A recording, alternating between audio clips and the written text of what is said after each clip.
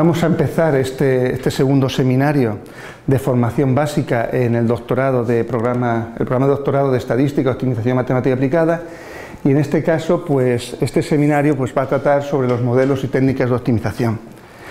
Eh, el objetivo, el índice que, vamos a seguir simplemente tiene tres partes. La primera que es muy breve es eh, pues hablar un poquito sobre lo que es la optimización matemática en qué consiste y luego a partir de ella pues centrarnos en dos aspectos fundamentales de la, investigación operativa de optimización que son los modelos básicos y las técnicas para obtención de soluciones de estos modelos. ¿De acuerdo? Entonces el objetivo fundamental de, este seminario es simplemente proporcionar una, una, visión global sobre los principales modelos que os podéis encontrar en la literatura y que os sirvan de referencia para resolver vuestros propios problemas o os sirvan de referencia para vosotros construir vuestros propios modelos buscando similitudes con los que ya se conocen. Y luego a partir de ahí pues eh, podéis también utilizar distintas técnicas de optimización, algoritmos que ya se hayan desarrollado pues para resolverlo. Y dentro de esas técnicas que podéis encontrar, muchas de ellas pues las vamos a referenciar aquí. Fundamentalmente eh, nos centraremos en las técnicas metaheurísticas, puesto que las clásicas entendemos pues que todos más o menos pues tenéis conocimiento y realmente cuando nos enfrentamos a problemas muy complejos habitualmente pues no podemos recurrir de las técnicas, a las técnicas clásicas de optimización y entonces tenemos que recurrir a otro tipo de técnicas que nos proporcionen pues mejores prestaciones. ¿De acuerdo? Entonces, bueno, esto sería el esquema básico de este seminario. Entonces, lo primero, ¿qué, es la optimización matemática? Entonces, la optimización matemática eh, simplemente consiste en la optimización de o la optimización o la mejora del desempeño de uno o varios parámetros que rigen un sistema, un sistema que puede ser más o menos complejo y que además nosotros somos capaces de describir dicho sistema a través de ecuaciones matemáticas. Es decir, obtenemos una formulación matemática que describa adecuadamente el funcionamiento del sistema que estamos estudiando y luego pues aplicamos algún tipo de, algoritmo, algún tipo de inteligencia sobre ese sistema para mejorar algo del mismo. Entonces, hemos dicho dos, cosas en esta, breve definición. Una es que utilizamos modelos matemáticos. Por lo tanto, estamos obligados a construir un modelo matemático si queremos aplicar este enfoque para resolver nuestro problema. Y dos, queremos mejorar el desempeño de alguno de los elementos que rigen el sistema. Por lo tanto, tenemos que buscar técnicas que nos, nos proporcionen soluciones que mejoren el funcionamiento del mismo, sobre la base de que tenemos un modelo matemático que nos lo describe adecuadamente. Bien, entonces los, elementos básicos que nos vamos a encontrar en la construcción de cualquier modelo matemático son tres. En primero son las variables de decisión, que las variables de decisión lo que nos van a dar son, o son aquellos elementos que eh, describen el funcionamiento del sistema. ¿De acuerdo? Que nos permiten describir los distintos elementos que están involucrados en el sistema y con ellos describir todas las relaciones que pueden existir entre los distintos elementos del mismo. El segundo pues es la función objetivo y es qué queremos hacer. Es decir, queremos maximizar eh, beneficios, minimizar costes, queremos pues minimizar el tiempo de, espera o queremos maximizar el rendimiento pues, de, de un sistema, lo que sea. Obviamente estamos hablando de función, funciones objetivo, es decir, significa que en un problema no necesariamente podemos tener un objetivo único, sino que podemos tener múltiples objetivos. Y por tanto, quizá el concepto de maximizar o minimizar, pues habría que cambiarlo, porque puede ser que los objetivos eh, sean eh, contrapuestos y que la mejora de uno de ellos pues conlleve el empeoramiento de otro. Entonces, bueno, eso es una posibilidad y entonces el concepto de maximización o minimización pues se cambia por el concepto de eficiencia. Pero en este seminario pues no, nos va a dar tiempo a, entrar en ese, en ese, capítulo y lo que nos centraremos son en aquellos problemas en los que disponemos de una única función objetivo. ¿De acuerdo? Y luego pues tendremos las restricciones. Las restricciones lo que hacen es describir las limitaciones, tanto técnicas como económicas, como de cualquier tipo, que rigen al sistema. ¿De acuerdo? Entonces estas restricciones, igual que la función objetivo, pues tienen que depender o estar escritas en función de las variables de decisión. Obviamente eso lo que nos obliga es que las variables de decisión tienen que ser lo suficientemente significativas para que cuando obtengamos la solución a las mismas poder implementarlas. Es decir, que tengan una significatividad sobre el problema que estamos resolviendo. Entonces, la forma general que tendremos siempre en un problema de optimización es esta que encontráis aquí. En primero es estamos hablando de optimizar con una única función objetivo. Ya os he dicho que el concepto de maximizar o minimizar tiene pocos sentidos si tenemos varios objetivos y encima algunos de ellos son contrapuestos. Entonces, primero es buscar el sentido de la, optimización, que obviamente dependerá de la función objetivo. Pues si la función objetivo pues mide cosas positivas, querremos maximizar, y si mide cosas negativas, pues querremos minimizarla. ¿De acuerdo? Entonces tenemos una función objetivo, el sentido de, esa, de lo que queremos hacer con esta función objetivo, que es o mejorarla, o aumentarla o disminuirla. Luego tenemos eh, el conjunto de restricciones que viene dado por este conjunto F así críptico, pero bueno, este conjunto F es el conjunto de todas las restricciones que definen nuestro problema y luego tenemos la naturaleza de las variables de decisión. Aquí he puesto Rn en general, pero obviamente eh, esto no es restrictivo, porque si tenemos variables discretas podemos considerarlo como una restricción, o si son binarias pueden ser consideradas como una eh, también como restricciones a sí mismo. Y por lo tanto el escribirlo de esta manera es lo suficientemente general como para abarcar casi cualquier problema de optimización en el cual disponemos de una función objetivo únicamente. ¿De acuerdo? Entonces, eso sería en cuanto a los modelos, que elementos básicos. Eh, ahora iríamos a las técnicas. Bueno, como podéis comprobar, estoy haciendo un repaso pues muy somero porque entiendo que bueno, muchas de estas cuestiones, algunos de vosotros, si no todos, pues lo habréis visto en curso de, de grado. ¿no? Aquí lo único que se pretende ahora pues, es dar una, visión global para, que, bueno, para refrescaros y algunos que no los conozcáis, pues para que lo conozcáis. Entonces, las técnicas para la obtención de soluciones. Eh, las técnicas para la obtención de soluciones podemos clasificarlas en dos grupos. Es una de las posibles clasificaciones, se pueden utilizar otras, pero esta es la más sencilla. Es técnicas exactas y técnicas aproximadas. Dentro de las técnicas exactas tendríamos las técnicas de carácter general y las técnicas de carácter particular. Las de general significa que son procedimientos que nos sirven para resolver o podemos aplicarlo a una gran variedad de problemas de optimización. ¿De acuerdo? Y las particulares son aquellas técnicas que se eh, definen exclusivamente para un tipo de problema, para muy pocos problemas, para una clase concreta de problemas. Entonces, eh, relacionado con este tipo de técnicas generales o particulares tendríamos las técnicas aproximadas. Y aquí tendríamos técnicas heurísticas y técnicas metaheurísticas. Las técnicas heurísticas serían las de propósito particular, es decir, son técnicas que se diseñan para resolver un determinado problema o una determinada clase de problema, utilizando intuiciones o propiedades que tiene ese mismo problema. Es decir, aunque aquí podemos aproximadas, puede haber técnicas heurísticas que sean exactas. Y luego técnicas metaheurísticas. Las técnicas metaheurísticas serían aquellas de propósito general, son técnicas aproximadas que intentan recoger pues, algún tipo de idea que nos proporcione alguna ventaja a la hora de obtener una solución del problema y que además es aplicable a una gran variedad de los mismos, a una gran variedad de clases de problemas. Entonces tendríamos esta clasificación, exactas aproximadas, las particulares estarían con las heurísticas y las metaheurísticas con las generales. Entonces esto es una visión pues, eh, global pues, de lo que es la optimización de forma, de forma concisa y vamos a pasar ya pues, a, uno de los objetivos de, este seminario, que es presentar distintos modelos básicos de optimización que os sirvan como referencia en vuestro trabajo dentro de los estudios de doctorado. Quizás muchos de ellos los conozcáis, pero bueno, el objetivo es tener pues, una base lo más, lo más amplia posible y que os sea de ayuda.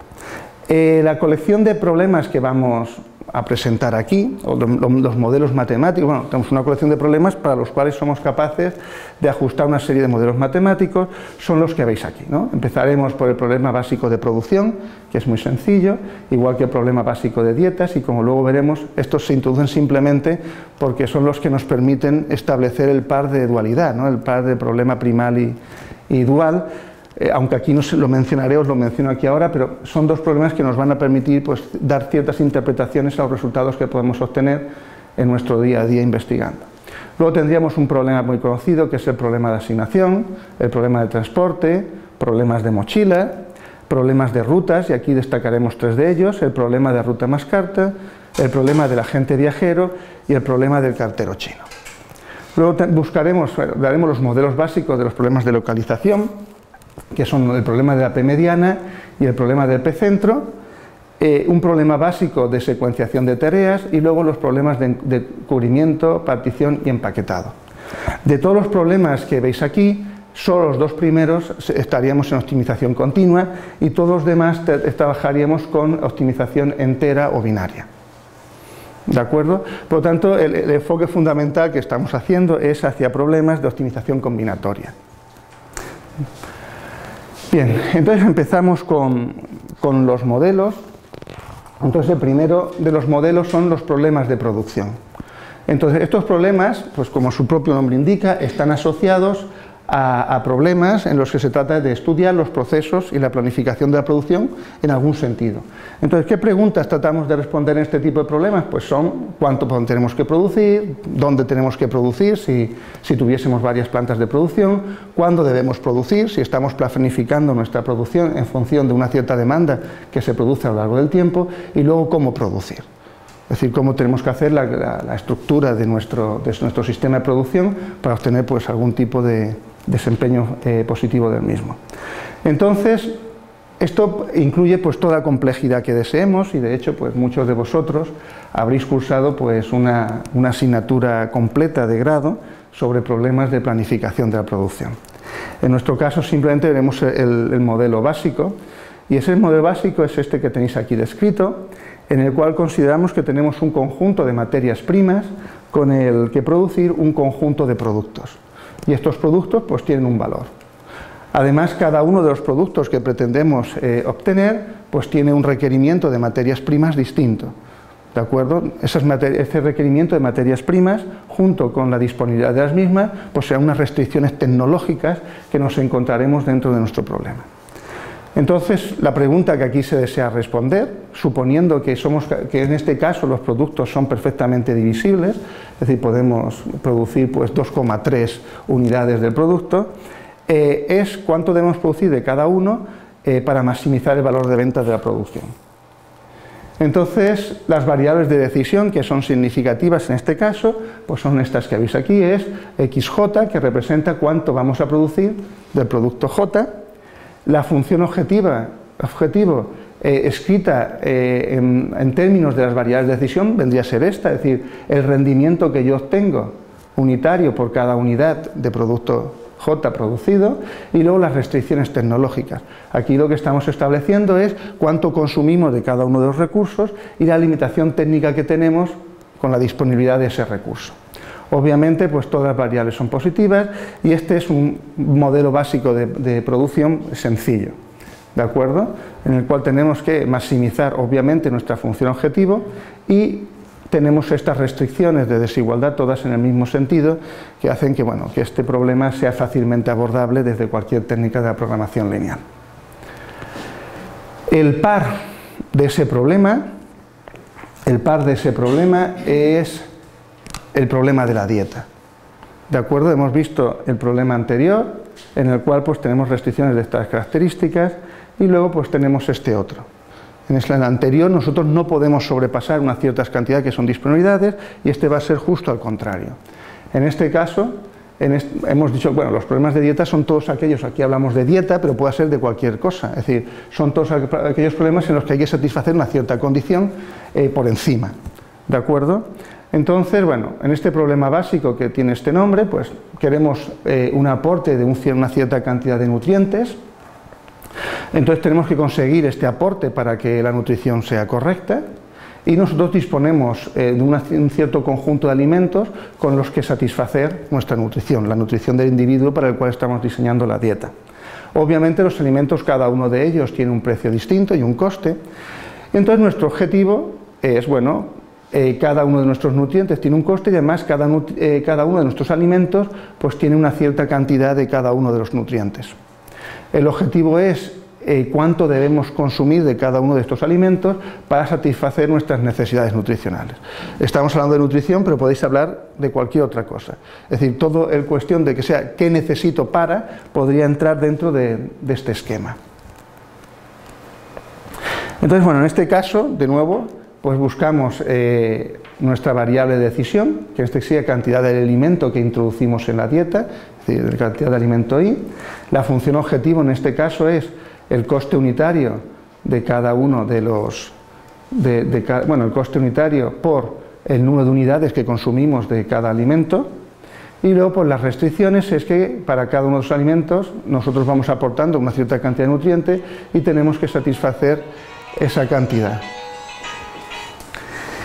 Eh, ello, como estamos hablando de costes, eso es un sentido negativo de la función objetivo, pues nuestro objetivo va a ser minimizarlo, es decir, intentar conseguir eh, la mejor combinación de alimentos, la combinación de alimentos más económicas, de tal manera que se satisfagan nuestras condiciones nutricionales.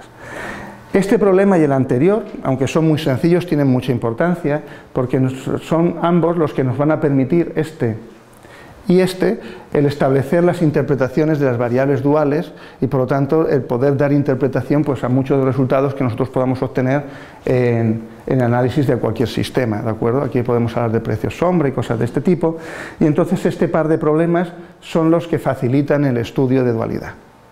Es decir, no, tienen mucha complejidad, pero sí tienen mucho, mucho fundamento teórico dentro de lo que sería la programación matemática.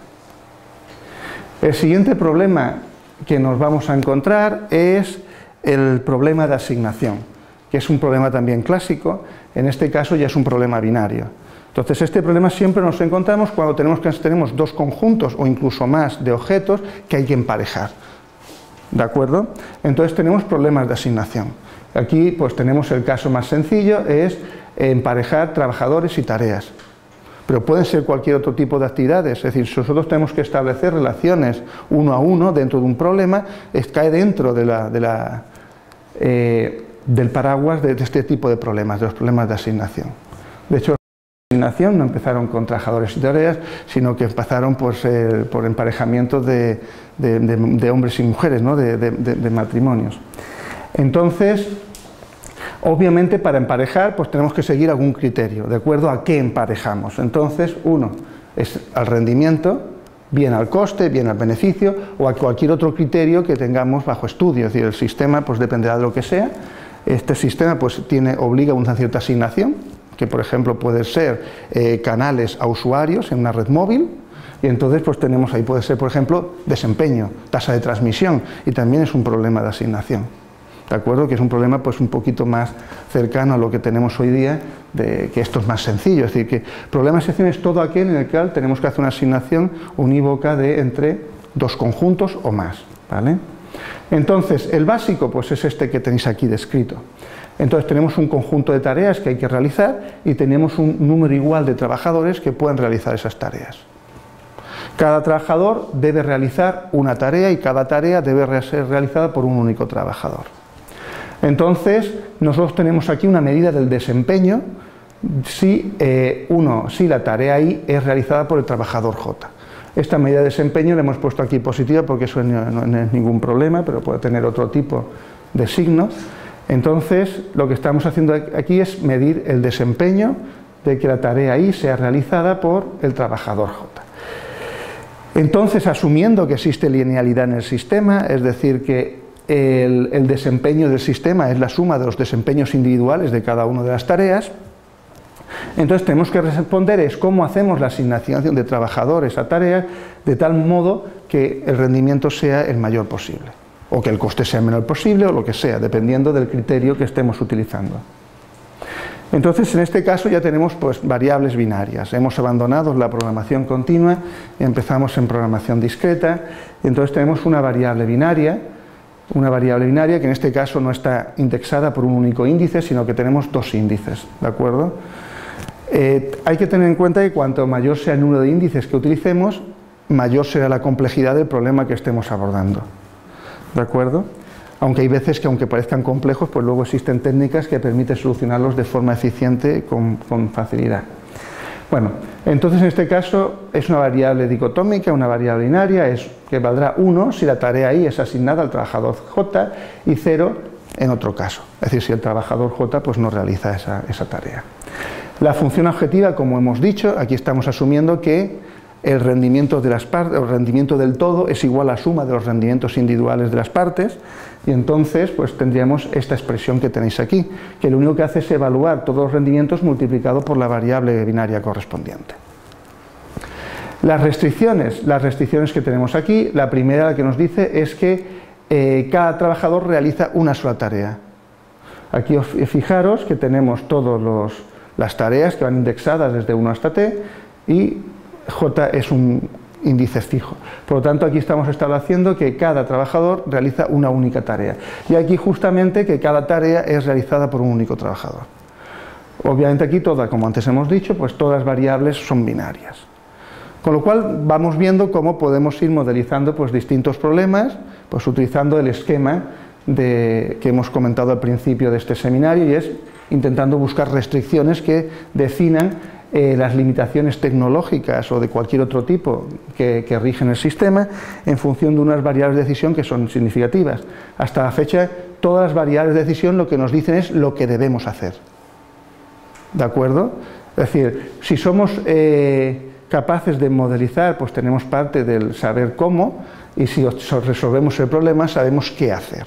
Por lo tanto, en la optimización tenemos dos partes fundamentales de cualquier, eh, de cualquier sistema, y es saber qué hacer y saber cómo hacerlo. ¿no?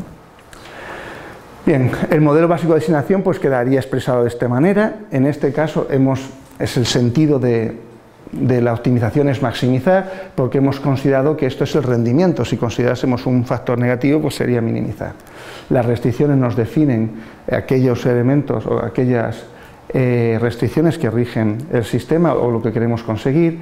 Y aquí una salvedad es que podría ocurrir que no tuviésemos el mismo número de trabajadores que de tareas, en cuyo caso eso no es un problema porque podemos añadir tanto trabajadores como tareas ficticias con rendimiento cero. ¿De acuerdo? Y entonces conseguimos que el problema siempre tenga esta estructura. ¿Vale?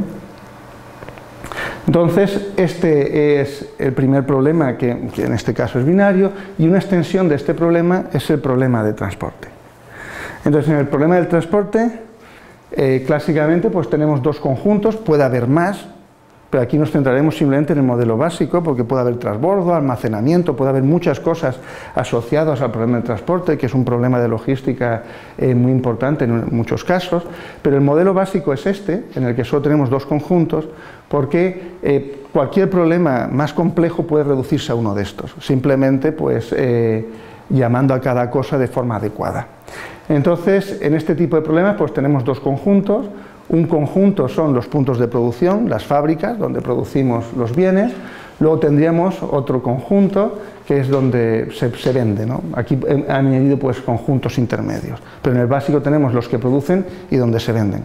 Y lo que tenemos que hacer es llevar los productos de donde se producen a donde se venden, de acuerdo a la capacidad de producción de cada una de esas fábricas y de acuerdo a la capacidad de venta de cada uno de los puntos. Entonces, estos conjuntos tenemos la producción, los puntos de venta, existe una capacidad de producción en cada punto y existe una, demanda, es decir, unos requerimientos en cada punto de venta. Eh, además, vamos a considerar que la oferta total es igual a la demanda total, aunque esto puede ser relajado y salvado fácilmente. Y entonces, asimismo, claro, si tenemos que llevar objetos de un lugar a otro, pues eso incurrimos en unos costes, que son los costes de transporte que vienen reflejados aquí. Es decir, este sería el coste unitario por unidad de llevar una unidad de producto de la, fábrica I al punto de venta J. Una cuestión fundamental en los problemas de transporte, en este caso concreto, es que consideramos que todos los bienes son bienes homogéneos.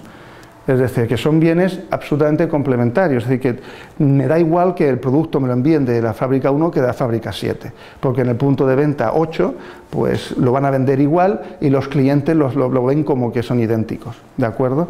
Si tuviésemos más, eh, más, productos, pues tendríamos seguramente pues, muchos problemas de transporte superpuestos, que podríamos tener algún tipo de problema de capacidad si introducimos algún tipo de condicionante adicional. Pero bueno, básicamente el problema que nosotros queremos resolver, que sería el modelo que subyace sobre todos ellos y al que podríamos reducir todos los que antes he comentado, pues es este de aquí. El objetivo, pues como es obvio, pues como tenemos una función de costes, es transportar, llevar desde los puntos de producción a los puntos de venta toda la producción que se nos demanda, de forma que el coste de transporte sea el menor posible. En este caso volvemos a tener variables a dos índices, entonces tenemos que el problema ya no es binario, sino que va a ser entero, porque este es x y j, es en unidades transportada desde el punto i, o del origen i al destino j. Origen y destino pues son nombres alternativos que podemos darle pues, al punto de producción, punto de venta, fábrica eh, o, vendedor, lo que se quiera. Lo importante es la estructura que hay detrás de él. La función objetivo, aquí estamos reflejando los costes unitarios por unidad transportada para cada uno de los casos posibles. Y nuestras restricciones, por los que nos dicen es que eh, se satisface la demanda y se envía toda la oferta. ¿De acuerdo? Es decir, todo lo que parte del nodo I, es decir, tiene que ser igual a su I, es decir, no puede enviar a los puntos de venta o a los destinos más de lo que es capaz de producir, es decir, tiene que mandar exactamente esa cantidad y cada punto de venta no puede decir ni más ni menos de lo que allí se demanda. Es decir, que estamos asumiendo que existe stock cero tanto en origen como en destino. ¿Vale? Bueno, las variables en este caso son enteras y se considera esta condición de problema equilibrado. En la condición de problema equilibrado lo que nos dice es que la oferta es igual a la demanda. Eh, problemas de transporte más generales podrían considerar que se pudiera fraccionar. Si transportamos, por ejemplo, bienes líquidos, es posible considerar que estas variables, en vez de ser eh, enteras, pudieran ser continuas. Si utilizamos unidades no fraccionables, es decir, bienes no, divisibles, perfectamente divisibles, estaríamos bajo, este, bajo esta hipótesis. Además, hay que observar que si aquí ponéis 1 y donde pone C y J es el desempeño, esto es un problema de asignación. ¿De acuerdo? Es decir, que esto pues, es un caso más general que el propio problema de asignación cuando permitimos que un individuo no sea uno a uno. Es decir, nosotros podemos considerar que pues, yo soy un trabajador que puedo trabajar en tres puestos distintos.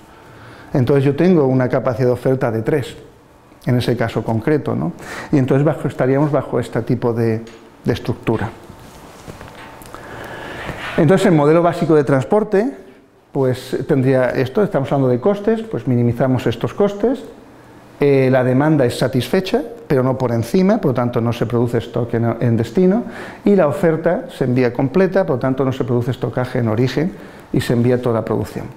Si existe algún desequilibrio entre oferta y demanda, eso se puede arreglar añadiendo o bien eh, orígenes o puntos de producción ficticios o bien puntos de demanda eh, ficticios o puntos de venta ficticios, añadiendo, asignándole unos costes o bien cero o bien infinito, dependiendo del caso.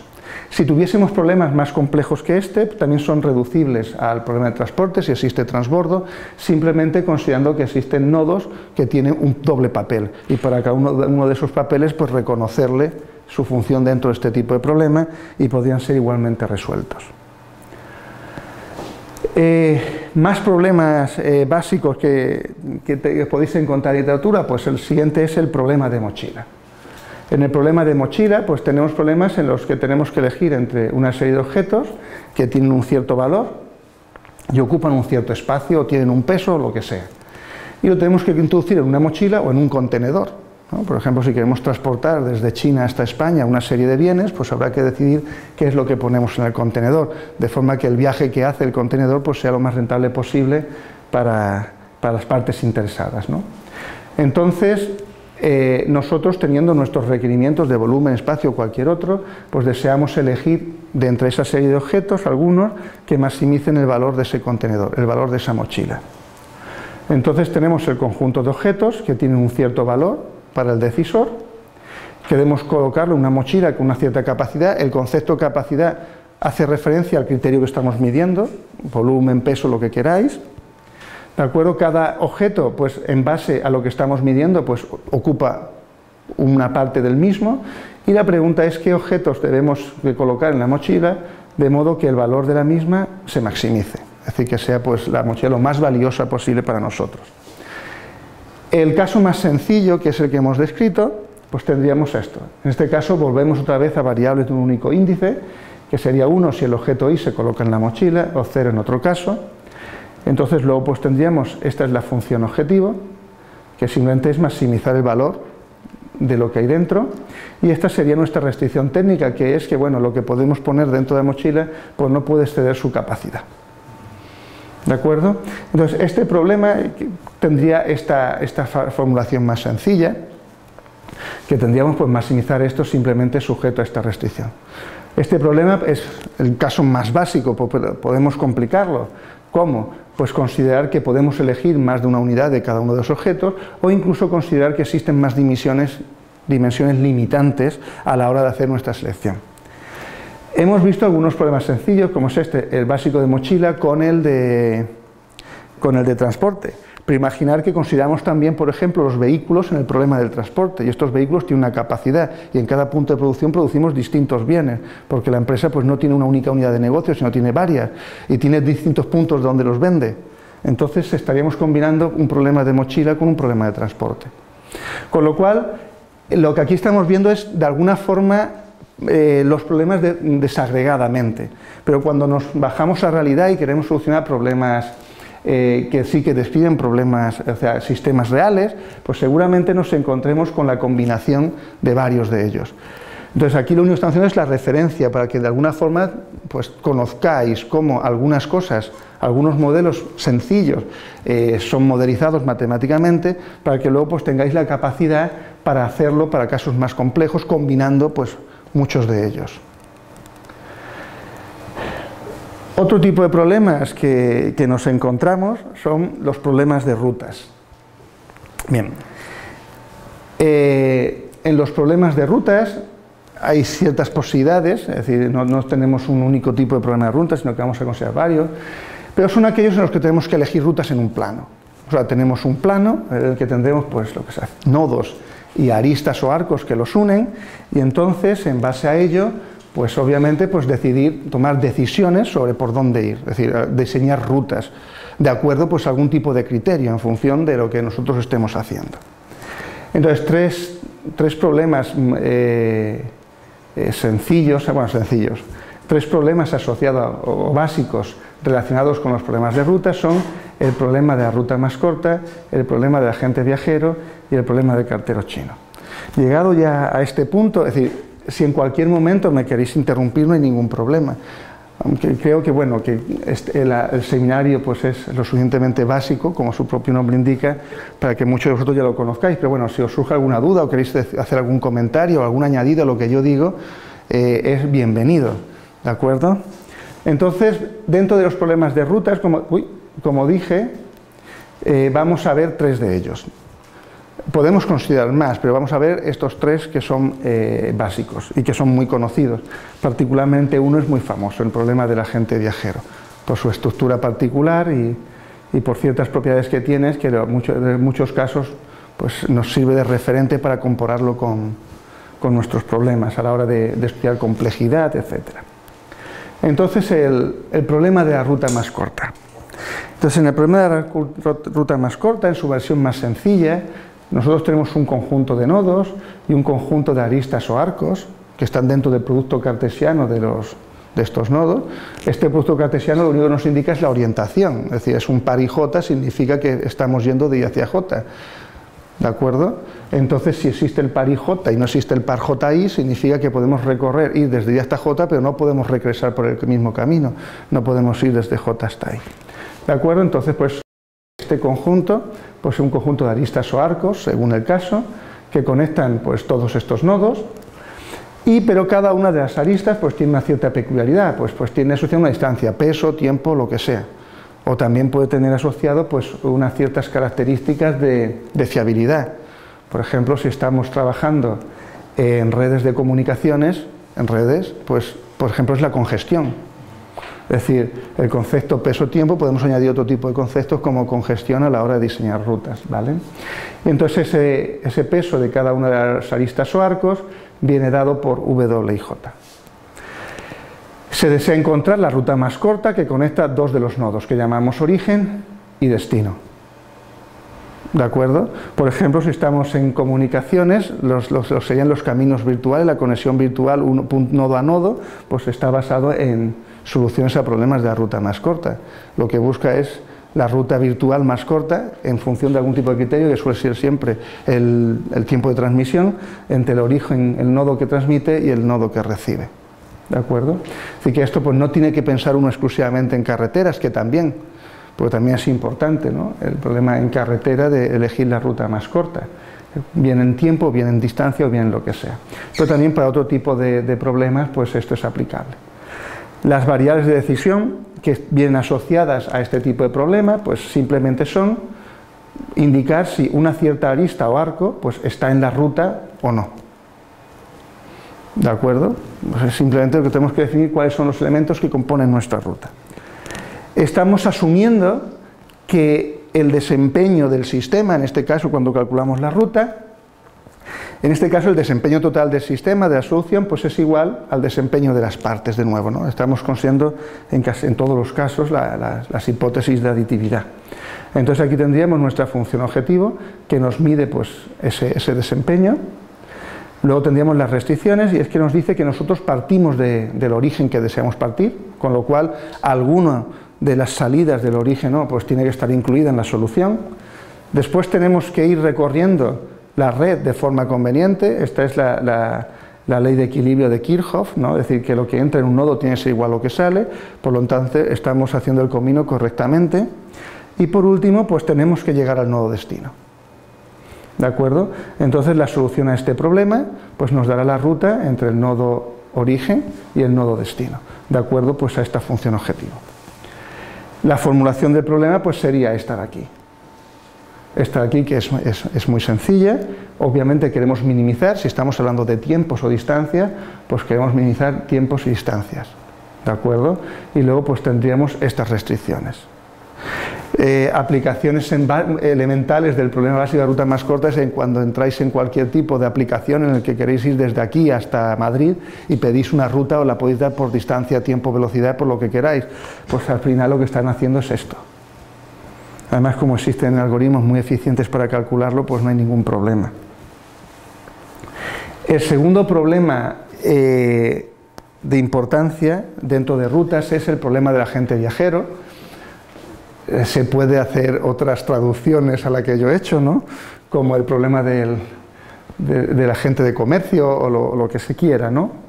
Entonces, este es un problema eh, que en la literatura está muy trabajado. Es decir, es un problema que si, os surge de alguna forma dentro de lo que estáis estudiando, si trabajáis sobre este ámbito, pues os va a venir muy bien. Porque este es un problema de, referencia pues, en muchos casos y que aparece con cierta frecuencia y que tiene, ha tenido interés y sigue teniendo mucho interés y gente trabajando sobre él. Entonces tenemos un conjunto de ciudades y de nuevo un conjunto pues, de carreteras que simplemente ese es un conjunto de este producto cartesiano. Cada una de esas carreteras pues, tiene asociada una distancia, el concepto de distancia en el sentido más amplio posible, es decir, tiene asignada un parámetro, le mide, pues medimos un cierto parámetro en el problema y cada uno de los eh, arcos o aristas de, ese problema, de, de, esta red, pues tiene asociado pues, un valor para ese parámetro que denominamos igual que antes W y J, y se desea encontrar la ruta más corta que en este caso permite recorrer una serie de ciudades, es decir, aquellas ciudades que tiene que visitar el agente de comercio, porque tiene que, allí tiene a sus clientes y tiene que ir allí a, pues a venderle el producto o, a hacer lo que sea, comenzando en una cierta ciudad o no de salida y terminando en el mismo. Es decir, lo que hace es un, un circuito en el cual pues recorre todas las ciudades que tiene que recorrer, donde tiene que realizar las visitas o tiene que descargar los productos que tenga que descargar y luego pues regresa a la ciudad de origen. Entonces tenemos una serie de variables de decisión, que es esta de aquí, x y j, que es 1 si la arista correspondiente está en la ruta que va a seguir el agente, o 0 si no está. Nosotros tenemos una cierta función objetivo y ahora nos planteamos pues, estas dos restricciones de la forma más sencilla posible. Entonces aquí tenemos nuestra función objetivo y es que el tiempo que dedique a hacer el recorrido por todas las ciudades que tiene que visitar, pues viene dado por esta expresión y luego pues esto significa que alguna vez visita es decir, llega, es decir, desde alguna ciudad llega a, desde I siempre va algún J y desde, aquí está, en este caso el J es el fijo y siempre llegamos a J, es decir, que todas las ciudades son visitadas. Entonces uno pues, puede pensar que, bueno, que esta formulación es muy sencilla, ¿de acuerdo? Y parece que a priori podría estar bien, es decir, estamos diciendo que cuando entramos en una ciudad pues salimos de ella y que visitamos todas las ciudades, por lo tanto puede parecer que está bien. Sin embargo, esta solución es posible con esta formulación. ¿De acuerdo? Entonces, esta formulación posible, estamos diciendo que este problema no nos da una solución a lo que hemos planteado. Es decir, si esta solución es posible dentro de este marco, significa que nuestro problema no está bien formulado. Tenemos una formulación incompleta del problema del agente viajero. ¿De acuerdo? Con lo cual necesitamos algo extra que nos impida este tipo de soluciones. Esto está claro, ¿no? de que una vez que entramos en una ciudad salimos de ella y que siempre llegamos a las ciudades de interés. Pero bueno, la cuestión está en cómo conseguir que estas soluciones no se den. Hay, bueno, hay varias formulaciones, yo voy a proponer dos de ellas. Una de ellas consiste en evitar esos ciclos que hemos visto anteriormente, es decir, evitar este tipo de soluciones imponiendo esta restricción. Es decir, que el número de enlaces que conectan una serie de nodos sea siempre menor o igual que el número de nodos menos uno, salvo para la última solución, porque en la última solución ya hemos hecho el ciclo completo, ¿de acuerdo? Entonces, esta propiedad es una, una propiedad que se suele dar mucho en los árboles de conexión mínima, en la cual con esto lo que intentamos evitar es los ciclos antes de tiempo, porque a nosotros solo nos interesa un ciclo y es el último. Entonces la solución que tenemos que permitir es la del ciclo que tiene n-1 enlaces, pero que ya es completa, es decir, que ya ha recorrido todos los nodos que tiene que recorrer. esta es una formulación. Esta formulación, como veis, Aquí en de restricciones pues sería, eh, pues, no sé, 2n, los que, los que toquen, ¿no? dependiendo 2n, pero aquí estamos añadiendo 2 elevado a n menos algo, es decir, el número de restricciones que añadimos con esta condición es enorme. ¿De acuerdo? Una segunda formulación es una formulación a tres índices. Hasta la fecha, el problema más complejo que habíamos visto era una formulación con dos índices. Y en este caso añadimos un tercer índice a nuestra variable de decisión no solamente decimos si está en la ruta, sino decimos en qué tramo, en qué orden se recorre. ¿De acuerdo? Entonces yo sé que el número de orden va a ser este. Es decir, porque si yo nada más que voy a recorrerlos todos, yo voy a recorrer en enlaces. Entonces, teniendo con esta formulación a tres índices, la función objetivo no cambia, las dos primeras condiciones eh, no cambian y en la tercera condición lo que nos está diciendo es que detrás de un tramo va el siguiente y que eso no se repite, ¿de acuerdo? Y entonces con esa condición lo que estamos haciendo es evitar que se produzca este tipo de situaciones. ¿De acuerdo? Es decir, con, esta formulación evitamos esto, simplemente imponiendo que no puede existir un cierto número de enlaces mayor que n-1 entre un conjunto n de nodos, y con esta formulación lo que estamos diciendo es que nosotros vamos recorriendo los tramos uno tras otro y cuando salimos de un tramo vamos a otro nodo. Por lo tanto, este tipo de circunstancias, estas que no se, no se pueden dar. Existen otras formulaciones, pero aquellos que saben más que yo la podrían proporcionar. Entonces, bueno, con esto pues tendríamos el modelo básico de la gente. Luego tendríamos el problema del cartero chino. En este caso es el caso más sencillo, que es el caso no dirigido es parecido. Eh, observar que en el, en el problema del viajante eh, lo que queremos recorrer es ciudades. En el caso del cartero chino lo que queremos recorrer son aristas o arcos. Por eso se llama cartero, porque en una arista entre dos intersecciones, entre dos esquinas, pues hay muchas casas y entonces en todas ellas hay que dejar correo. Por lo tanto, la funcionalidad es distinta. En la gente de comercio o transportista lo que quiere visitar son las ciudades para pues, hacer lo que tenga que hacer en cada una de ellas. En este caso lo que tiene que recorrer son las aristas para pues, distribuir, en, pues, en el caso típico, pues, el correo. Entonces tenemos un conjunto de nodos, que en este caso son los cruces, porque en mi conjunto de interés son pues, las calles o las aristas de la ciudad, que vienen representados por aristas. Entonces cada una de las calles tiene asociada una distancia que consideramos que es la misma si se recorre en un sentido o se recorre en el otro. Entonces, esto sería nueve veces que se pasa eh, en la dirección IJ y nuestra función objetivo de nuevo es hacer que el, pues, el cartero pues, recorra lo, menos posible o tarde el menor tiempo posible en hacer su trabajo. Esto lo que nos indicaría es que cada arista debe ser recorrida en uno u otro sentido al menos una vez y esto por lo que nos indica es igual que antes la ley de Kirchhoff, que cuando nosotros llegamos a una arista luego tenemos que salir de ella. Perdón, cuando llegamos a un nodo tenemos que salir hacia otro. Las variables son enteras en el sentido de que una misma arista puede ser recorrida más de una vez. Entonces el modelo, el modelo básico quedaría de esta forma. Este problema no tiene tanto interés como el, bueno, tiene interés, pero este está, está resuelto, porque sabemos que si todos los nodos tienen grado par, pues existe una única solución que soluciona este problema. Entonces, pues casi todos los algoritmos que intentan resolver este problema básico, pues van dirigidos es en añadir aristas suficientes para que todos los nodos tengan grado par. Y una vez que todos los nodos tienen grado par, la solución es sencilla de encontrar. ¿De acuerdo?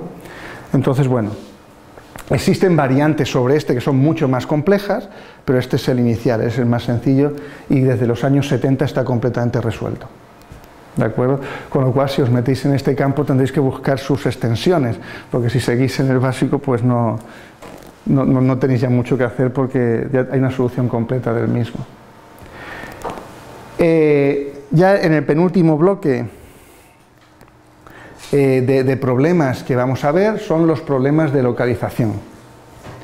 En los problemas de localización son problemas en los que tenemos que localizar una serie de puntos entre un conjunto de candidatos. Es decir, nosotros en ese punto un servicio para satisfacer las necesidades o demandas en otros puntos. Eh, el objetivo en este caso es elegir las localizaciones que minimizan el coste y satisfacen la demanda. Entonces, dentro de los problemas de localización hay, varios tipos, pero los dos básicos son el problema de la P mediana y el problema del P centro, que nosotros veremos sus versiones más, sencillas dentro de, lo que es esta clase de problemas, que también es un, campo de investigación pues muy, prolífico, en el que existen muchos investigadores trabajando sobre él porque aquí se pueden añadir incluso cuestiones de competitividad, de competencia, es decir, en los problemas de localización podemos introducir pues, cuestiones de, lo que será el seminario próximo de, teoría de juegos. Además lo podéis vincular con los problemas de transporte, problemas de asignación, es decir, que aquí el problema de localización podemos complicarlo pues todo lo, todo lo que deseemos, ¿no? combinándolo con otros problemas que ya hemos visto.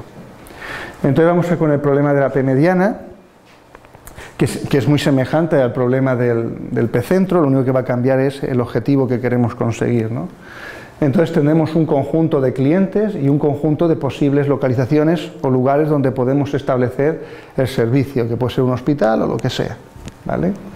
Entonces queremos abrir P establecimientos en esos lugares. Tenemos que seleccionar de este conjunto N un subconjunto P y que demos servicio a esos clientes. Tenemos un coste fijo de abrir cada establecimiento, que está denotado por F sub J, y un coste variable de servir desde J la demanda del cliente en I, que es C sub J. Es decir, este coste es el resultado de la combinación de, de cualquiera cosas, ¿no? Dependiendo del problema, pues será eh, distinto en cada caso, ¿no? Se construirá de forma diferente. Entonces el objetivo es abrir estos P lugares de forma que cada cliente quede servido por exactamente un establecimiento con un coste total variable o total mínimo.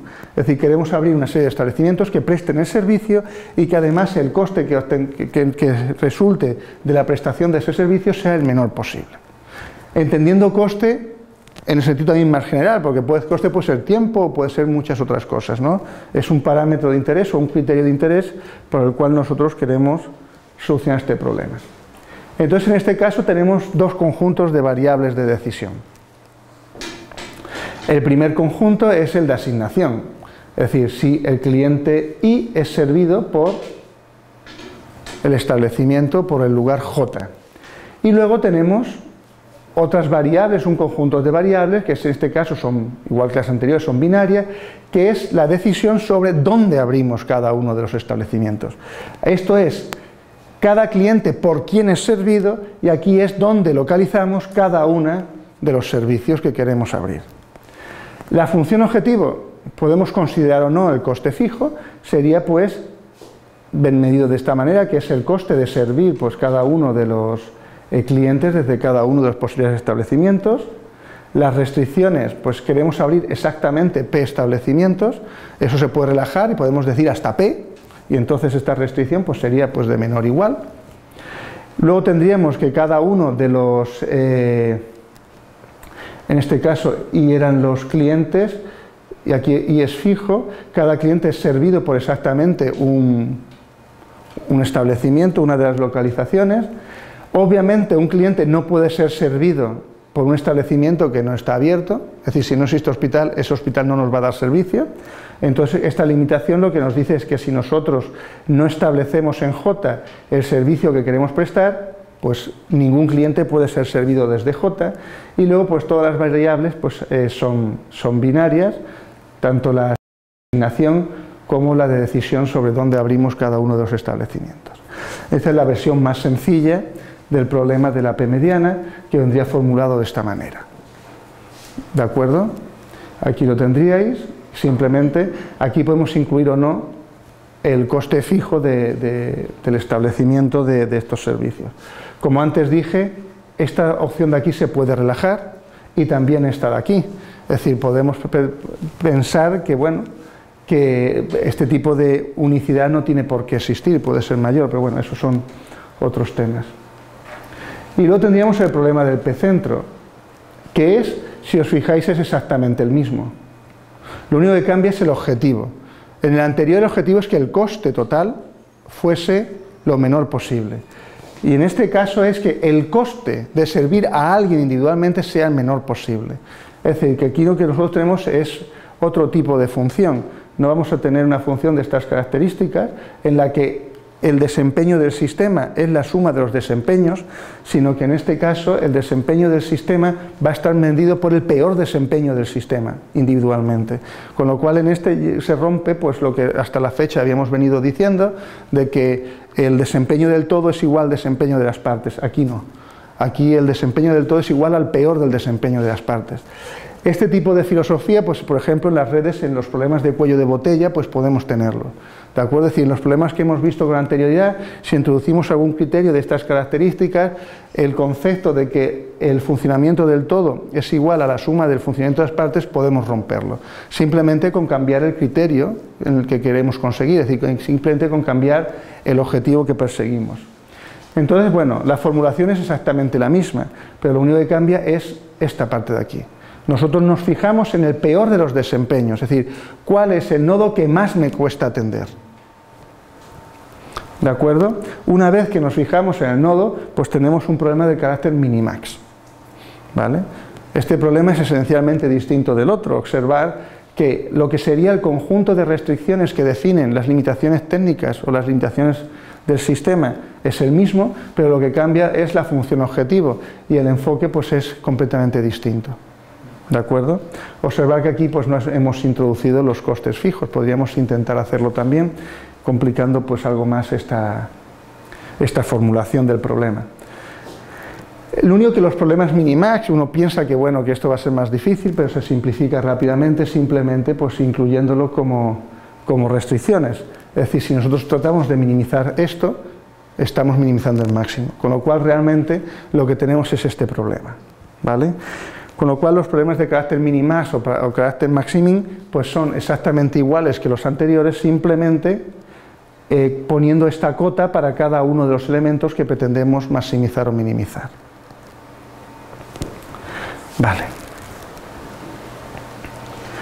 Luego tendríamos problemas de secuenciación de tareas que es otro tipo de problemas en los que os podéis encontrar y que a lo mejor algunos de vosotros pues estáis, eh, estáis trabajando junto con, con otras cuestiones. ¿no? Entonces vamos a coger uno de los problemas básicos de secuenciación de tareas. Hay alguno más sencillo, yo he elegido uno intermedio. En la literatura podéis encontrar algunos que son más básicos que este todavía. ¿De acuerdo? Entonces, este tipo de problemas es cuando pues, hay que asignar tareas, pero hay que darle un orden a la forma en la que se hacen esas tareas. ¿De acuerdo? En el problema de asignación la tarea era uno a uno, es decir, hay que hacer un trabajo y cada uno tiene que hacer su trabajo y se supone que todos están haciendo simultáneamente y sale el trabajo. En este caso eso no tiene por qué ser así. ¿De acuerdo? En este caso se diferencia del de asignación de tareas, porque cuando hemos dicho trabajadores a tareas, uno podría pensar, bueno, no, no es parecido, porque aquí el orden sí que influye. ¿De acuerdo? En el orden que se realiza cada tarea. Entonces, este tipo de problemas, bueno, pues eh, tienen pues importancia, pues en planificación de la producción pues lo vais a, encontrar también. Si entramos en un sistema pues más realista que el que vimos al principio de este seminario, pues encontráis que seguramente en la planificación de la producción hay que secuenciar las tareas.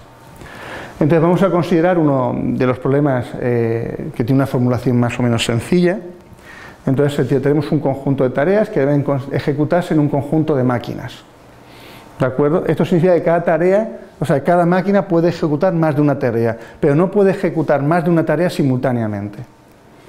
¿De acuerdo? Si pensamos, una, pensamos en una planta de producción de, vehículos, pues mientras que un robot está pintando el vehículo no puede hacer otra cosa. Está pintando ese vehículo y luego entrará otra cosa y hará lo que sea. Pero entonces cada máquina, en cada instante, solo puede hacer, o en cada momento, solo puede hacer uno de los trabajos. El tiempo de trabajo de la tarea I en la máquina J viene dado por T sub J. Esto significa que no todas las máquinas tienen el mismo desempeño para cada una de las tareas y que no todas las tareas son igualmente difíciles, es decir, cada tarea tiene su propia complejidad y cada máquina tiene su propia capacidad de desempeño a la hora de realizar la función. Entonces el objetivo es minimizar el tiempo en que se acaba el último trabajo. ¿De acuerdo? Entonces, formulación. Aquí pues debería plantearos que hagáis vosotros la formulación, pero la haremos nosotros una vez más. Entonces, volvemos a una formulación de tres índices. Como veis, no, voy a pasar de formulaciones de tres índices. Si alguna vez os encontráis con más de tres índices, tenéis un problema verdaderamente grande. Entonces, bueno, en esta formulación pues también tenemos tres índices y necesitamos tres índices porque tenemos tres elementos fundamentales. Uno es hay que realizar tareas, dos, las realizan máquinas y tres, las realizan en, una determinada, en un determinado orden. ¿De acuerdo? Por lo tanto, pues necesitamos un índice para cada una de esas cosas. Un índice que nos describa la tarea, la máquina y el orden. Entonces, x y j es igual a 1 si la tarea i es realizada en la máquina j en la posición k. Y 0 en otro caso. Y todo, pues aquí tenemos, eh, pues el número de, de variables sería t por m por k. Bueno, por t. ¿de acuerdo? Porque es decir, que tendríamos un problema pues más o menos grande. La función objetivo, aquí tenemos, es lo mismo decir cuándo acabamos el último trabajo que decir cuándo acaba la última máquina de trabajar. Entonces, para cada una de las máquinas va a estar realizando trabajos. ¿Cuánto tiempo va a tardar en realizarlo? Pues los trabajos que desempeñen, el orden que los desempeñe y cuando acabe acabado. ¿no? Entonces aquí estamos midiendo es todos los trabajos que realiza la máquina 1 y en el orden que les toque todos los trabajos que realiza la última de las máquinas y en cada uno de los órdenes que toque. Porque aquí estamos viendo las posiciones y la tarea que realiza. ¿De acuerdo? Por lo tanto, aquí lo que estamos haciendo es medir el máximo tiempo, es decir, la máquina que más tarda en terminar el trabajo. Después de que llegamos la asignación de tareas a cada una de las máquinas y en qué orden se ejecutan esas tareas. Primera cuestión que tenemos. Entonces tenemos este estos tres conjuntos variables, la formulación de esta última, pues existen otras variedades, esta es una muy sencilla. Entonces, la primera, ¿qué es lo que nos dice? En este caso lo que está fijo es la tarea. Lo que nos dice es que todas las tareas tienen que realizarse en una máquina y en una determinada posición. Con lo cual, esto nos garantiza de que todas las tareas se ejecutan. Porque en algún momento dado y en alguna máquina se va a ejecutar esa tarea. Esto es lo que nos dice que es, aquí no tenemos J, es decir, que en cada instante, aquí tenemos las máquinas, una máquina solo está realizando como mucho una tarea. Puede ser que no esté haciendo nada porque le toque pararse porque ya solo queda un trabajo y solo está trabajando una de las máquinas y las otras no. Pero las máquinas, cada una de ellas realiza una tarea. Y esto lo que obliga es que no se puede, no existe, no se ejecutan tareas en la posición 1, 2 y 5. Esto lo que nos fuerza es que si una máquina realiza cuatro tareas, las realiza en las posiciones 1, 2, 3 y 4. ¿De acuerdo? Podéis comprobar fácilmente que si eso no se cumple, esta relación no es verdad. Es decir, si os saltáis, si dejáis un hueco, comprobaréis que esta restricción no se cumple, se viola, ¿de acuerdo? Por lo tanto, esta restricción lo que nos fuerza es que la máquina empiece a trabajar y conforme termina una tarea, pues empieza con otra si es que se le asigna. Entonces garantizamos que estas tres restricciones nos describen el funcionamiento que lo hemos dicho. ¿De acuerdo? Es que las tareas se asignan a las máquinas, cada máquina realiza una única tarea en cada momento y al mismo tiempo las tareas son realizadas en orden en cada máquina. Entonces el modelo básico que tendríamos pues sería este y que igualmente, igual que antes, podemos reducirlo a un problema eh, convencional sin más que considerar la acotación de estos elementos. ¿vale? Entonces, vamos al último bloque de, de modelos que, hoy quería presentaros, ya modelos de referencia, que son problemas de cubrimiento, partición y empaquetado. Estos tres problemas serán juntos porque están muy, muy, muy relacionados. Y la diferencia entre uno y otro es simplemente en cómo se escribe una restricción. Todo lo demás es igual. Entonces, este tipo de problemas eh, pues, eh, tienen esta estructura, los siguientes la tendrán similar y solo cambiará pues, un, cierto aspecto que ahora comentaré. Tenemos un conjunto de características que se quieren obtener a partir de un conjunto de alternativas. Esto suena a la dieta, pero en este caso es discreto, la dieta era continua, si os acordáis. ¿Vale? Por lo tanto, no es el mismo problema. Entonces, cada una de estas alternativas tiene un cierto coste. Entonces, y posee una serie de características de C. Entonces, el objetivo es elegir un subconjunto de alternativas que nos permita obtener todas las características a coste mínimo. Por eso se llaman de cubrimiento. Imaginaros que yo quiero hacer un despliegue de, de una red de telefonía móvil. Cuando yo hago el despliegue de la móvil, ¿qué es lo que quiero hacer? Cubrir. ¿Vale? En este caso lo que yo quiero hacer es cubrir todas las zonas. Entonces, en ese caso concreto lo que estaríamos haciendo es esto, un problema de cubrimiento. Entonces, cada posición tiene unas características porque nos cubre una serie de puntos, etcétera, y entonces pues habría que decidir pues cuáles de esas alternativas son las que pues, satisfacen las condiciones. Entonces, aquí pues tenemos incluso para definir las restricciones necesitamos una variable binaria que es a su j, que es 1 si tiene la característica j, 0 en otro caso, que en este caso sería eh, uno, si mi punto candidato cubre la zona J o no la cubre, ¿de acuerdo? Si estamos hablando de un despliegue de, de una red inalámbrica. Las variables de decisión, pues es si una alternativa es elegida o no, también es binaria. En este caso, estos son eh, valores para las restricciones y estos son las variables de decisión. El objetivo pues, es minimizar el coste. Entonces asumimos una vez más que el coste de desempeño total pues, es la suma de los costes individuales y entonces lo que tenemos que garantizar es que todas las características están presentes.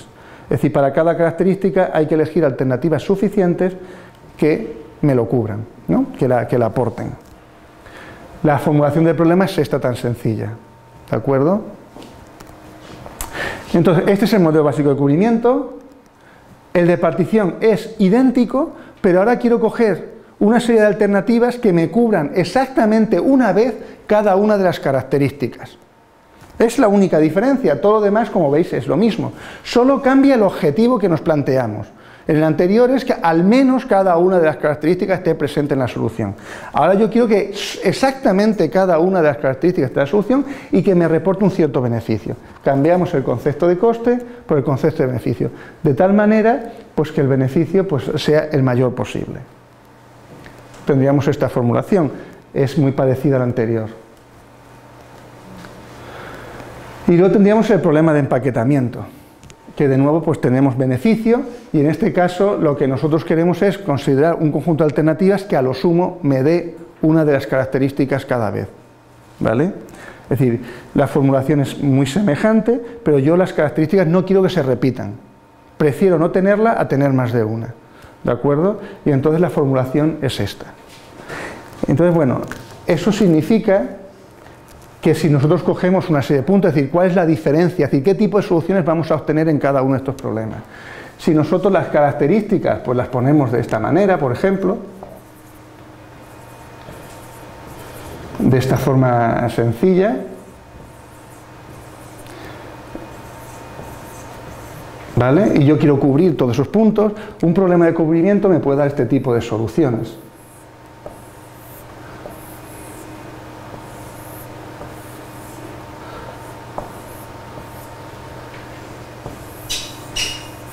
¿Vale? En el problema de cubrimiento, lo que significa que una característica puede aparecer una vez. A mí lo que me interesa es que estén todas, aunque estén repetidas. Si consideramos el mismo problema en el problema de partición, en este caso es exactamente las mismas características, pero yo solo quiero tener una de cada. Pues podríamos tener cosas de este tipo,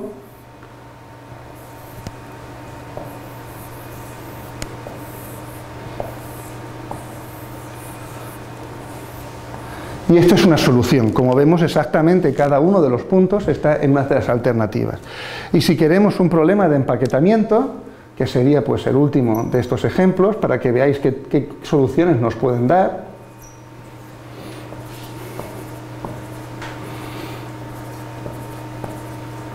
pues en este caso pues podríamos tener algo de estas características.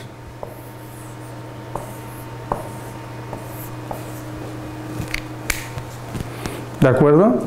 Entonces, eh, cambiando muy poco, las soluciones que nos proporcionan estos tres tipos de problemas que están dentro de la misma categoría, pues son completamente distintas. ¿De acuerdo? Entonces, con esto hemos terminado la primera parte del seminario. Aún nos queda que, soportarme un poquito más. Eh, espero que, que los 45 minutos que me quedan más para cumplir con las dos horas. Y es las técnicas para obtención de soluciones. Bueno, si tuviese que hablar de todas las técnicas para actuación de soluciones, eh, tendríamos que dar varias asignaturas, no de dos horas cada una, sino de muchas más, ¿no? porque seguro que vosotros durante vuestros estudios pues habéis recibido bastantes eh, asignaturas de, optimización, ¿de acuerdo? Entonces nosotros nos vamos a centrar en unas pocas, que luego pues a continuación os diré cuáles, cuáles serán, ¿no? Entonces, hemos dicho que las técnicas de optimización eran exactas y aproximadas, ¿de acuerdo? Y dentro de las exactas, generales y particulares, ahí que tenéis pues el método simplex, que es un algoritmo de propósito general para todos los problemas de programación lineal, en este caso continua, los, el punto interior, que tiene las mismas características de propósito general para una clase muy amplia de problemas, los problemas de ramificación y cota, que son también, están orientados a los problemas de programación entera o de programación mixta, es decir, y son de propósito general, o los algoritmos de programación no lineal, como y demás. ¿De acuerdo? Su gradiente, es decir, hay muchísimos problemas de programación no lineal que lo que pretenden es solucionar pues, completamente un tipo de problema. Luego incluso pues tenéis problemas particulares exactos, pues el teorema, eh, el algoritmo dual primal del problema del transporte, eso está basado pues en, conceptos absolutamente teóricos y en ciertas propiedades de la matriz que define el conjunto de restricciones, que entonces nos permite poder aplicar pues la filosofía de la, programación lineal y eso es un problema particular, es decir, el primal dual en este caso pues nos vale pues para el problema del transporte, ¿vale? Eh, y podremos soluciones aproximadas, que tendríamos heurísticas y las metaheurísticas. Las heurísticas que serían las de propósito particular para una cierta clase de problemas y las metaheurísticas que serían las de propósito general. Dentro de las heurísticas, pues os recuerdo Prin y Kruskal, que son dos algoritmos para resolver los problemas de, de los árboles de conexión mínima, que sabemos que son dos algoritmos heurísticos exactos, es decir, que dan la solución exacta en un tiempo muy, muy bueno el método húngaro para el problema de asignación, que también es un algoritmo que nos, heurístico que nos da, eh, en este caso, una solución para, el problema de asignación. El problema de bueno, algoritmo de For y Fulkerson, aunque yo no lo he explicado aquí, pues nos da soluciones para el problema de flujo máximo o el problema de Dijkstra y Moore, que nos da, es un algoritmo heurístico para la solución del problema de la ruta más corta, o el de Melman y Ford, que también es un, problema, es un algoritmo heurístico para solucionar el problema de la ruta más corta y que también da una solución exacta. Entonces, no me voy a referir a ninguno de estos, eh, lo que me voy a referir es a los heurísticos y metaheurísticos en general, centrándome en las técnicas metaheurísticas. Y tampoco podré darlas todas porque hay toda una, amplia variedad, algunas muy novedosas, que yo tampoco conozco en profundidad. Y entonces nos centraremos en algunas de las más habituales, aunque tampoco nos dará tiempo a alcanzarlas todas. Entonces, lo que nos planteamos es, bueno, cuando nosotros hablamos de técnicas de obtención para obtención de soluciones, ¿de qué estamos hablando realmente? De lo que estamos hablando realmente es de algo que se repita, y que nos haga la vida fácil. Es decir, estamos hablando de algoritmos. ¿De acuerdo? Estamos hablando de algoritmos que al aplicarlos sobre el problema, que tiene unas determinadas características, pues nos da una solución con dos características. En un tiempo de ejecución razonable, de nada sirve eh, dar una solución a la asignación de canales a los usuarios de una telefonía móvil si tarda varias horas en darle la solución óptima. Uno quiere milisegundos, ¿no? O menos. Es decir, que, cuando uno hace la llamada, pues prácticamente empieza a sonar, está conectando y cuando otro que eso sea muy rápido y que el otro descuelgue y podamos hablar. Con lo cual necesitamos que ahí se aplique un algoritmo que optimiza y lo que se quiere son buenos tiempos de ejecución. Obviamente si queremos algo que tiene que durar mucho tiempo, quizás los tiempos de ejecución puedan ser más modestos es decir, tiempos de ejecución más largos. Si estamos hablando de una planificación a 10 años vista, pues que tarde tres meses ejecutándose el algoritmo quizás no sea un problema. ¿De acuerdo? Entonces el concepto de buen tiempo de ejecución dependerá de lo que quiera, del problema en concreto en el que estemos centrados. Y luego una buena calidad de las soluciones. Calidad en el sentido de que sean, eh, si estamos optimizando, pues o el desempeño del sistema, pues que nos den un desempeño del sistema suficientemente bueno o quizás mejor que el que teníamos anteriormente. Entonces, Una forma de, abordar esto es abandonar los algoritmos exactos y basados en la programación matemática, que son de carácter teórico, y centrarnos en algoritmos heurísticos. ¿vale? Entonces, el algoritmo heurístico es un algoritmo que es capaz de obtener un resultado aceptable, pero lo que es importante es para un tipo determinado de problemas. Es decir, en muchos casos las heurísticas son absolutamente particulares. Estaríamos hablando como los algoritmos de propósito particular de las técnicas exactas, ¿de acuerdo? Sirven solo para un caso concreto, ¿vale? Entonces, lo importante de los heurísticos eh, es que, aunque sean correctos, normalmente no está probado, ni que obtenga la solución óptima, ni tan siquiera buena en muchos casos, ni que el tiempo de ejecución sea siempre bueno. Un heurístico es algo que intuitivamente funciona bien. Eh, matemáticamente no podemos concluir que funcione bien, ni en la calidad de la solución ni en el tiempo de ejecución. Funciona bien y nos quedamos en esto. Luego pues, se hacen, de hecho, muchísimas baterías de simulación y se comparan con resultados para saber lo que sucede. ¿no? Pero es una comprobación también empírica, no es una comprobación teórica en la mayoría de los casos.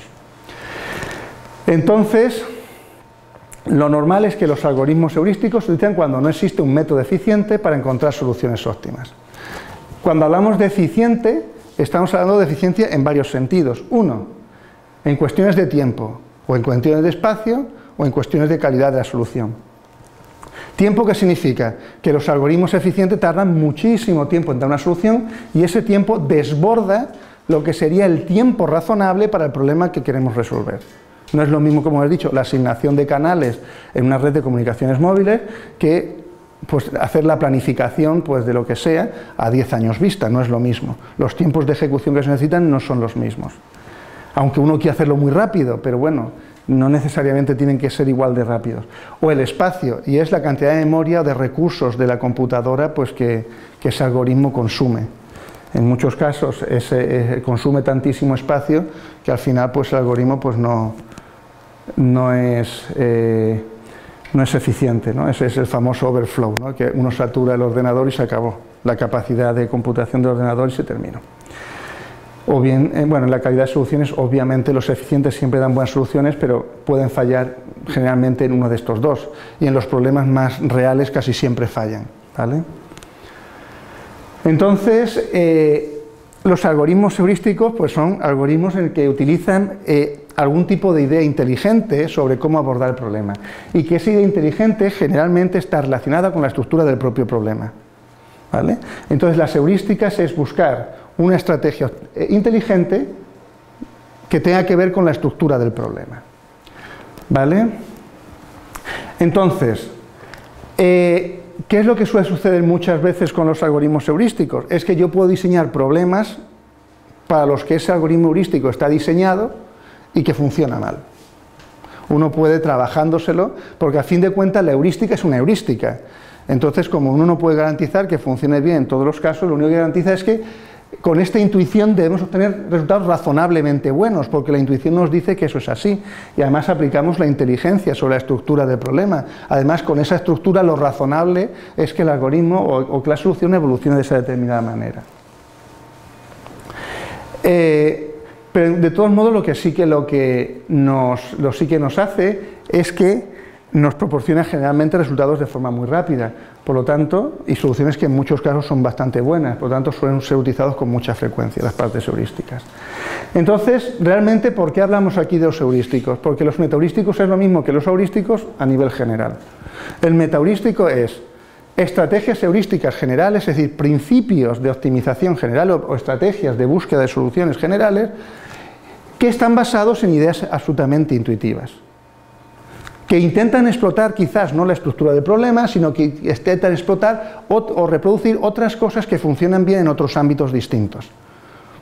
El ejemplo más sencillo es los genéticos, ¿no? Parece que la genética, la selección natural funciona bien. Por lo tanto, nosotros intentamos imitar el comportamiento de la selección natural cuando diseñamos un algoritmo genético. ¿De acuerdo? Hay que decir que la selección natural se lleva a cabo durante millones de años, con lo cual los cruces dentro del algoritmo genético pues tendremos que introducir algún tipo de elemento que no nos haga que tardemos en evolucionar razonablemente nuestro problema millones de años, ¿no? como sucede en la realidad.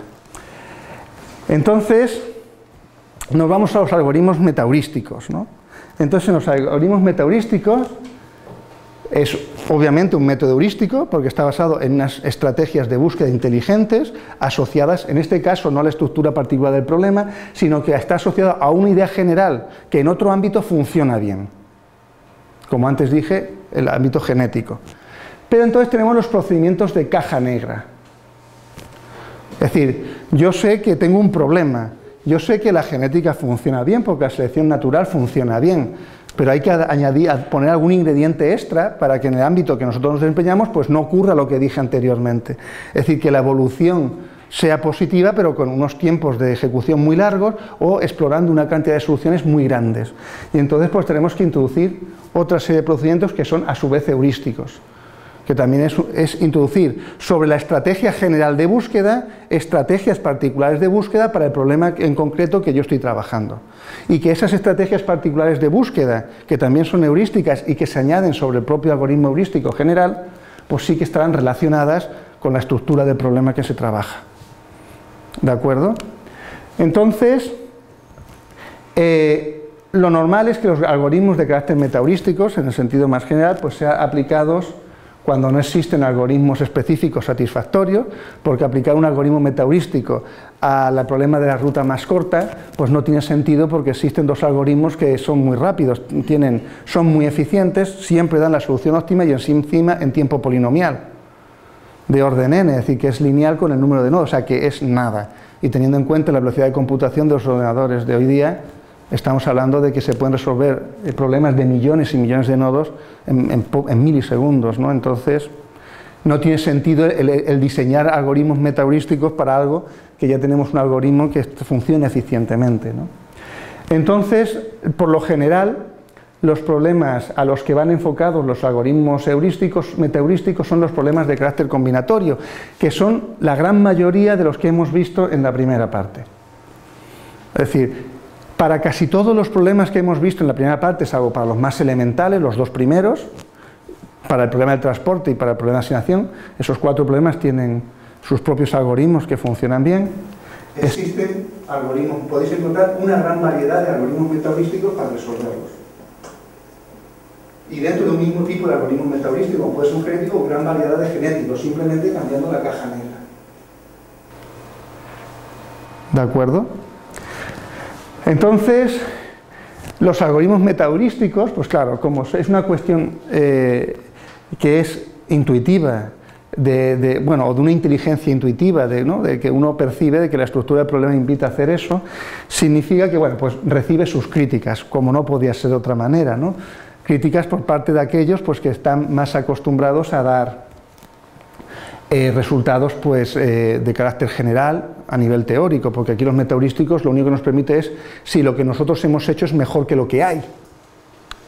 ¿De acuerdo? En algún caso, pues tendremos la fortuna de decir que eh, nuestro algoritmo es el mejor ya para toda la vida, ¿no? Es el mejor que se puede diseñar, pero esos son casos poco frecuentes, sobre todo en los problemas combinatorios que vimos en la primera parte de este seminario.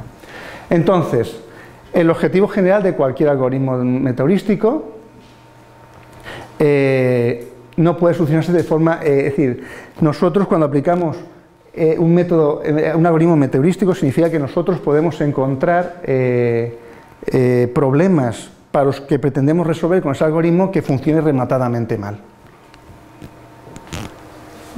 ¿De acuerdo? Simplemente porque estamos aplicando, si hablamos de genéticos, una idea biológica de evolución y luego pues, un elemento heurístico de caja negra que entendemos que puede funcionar bien.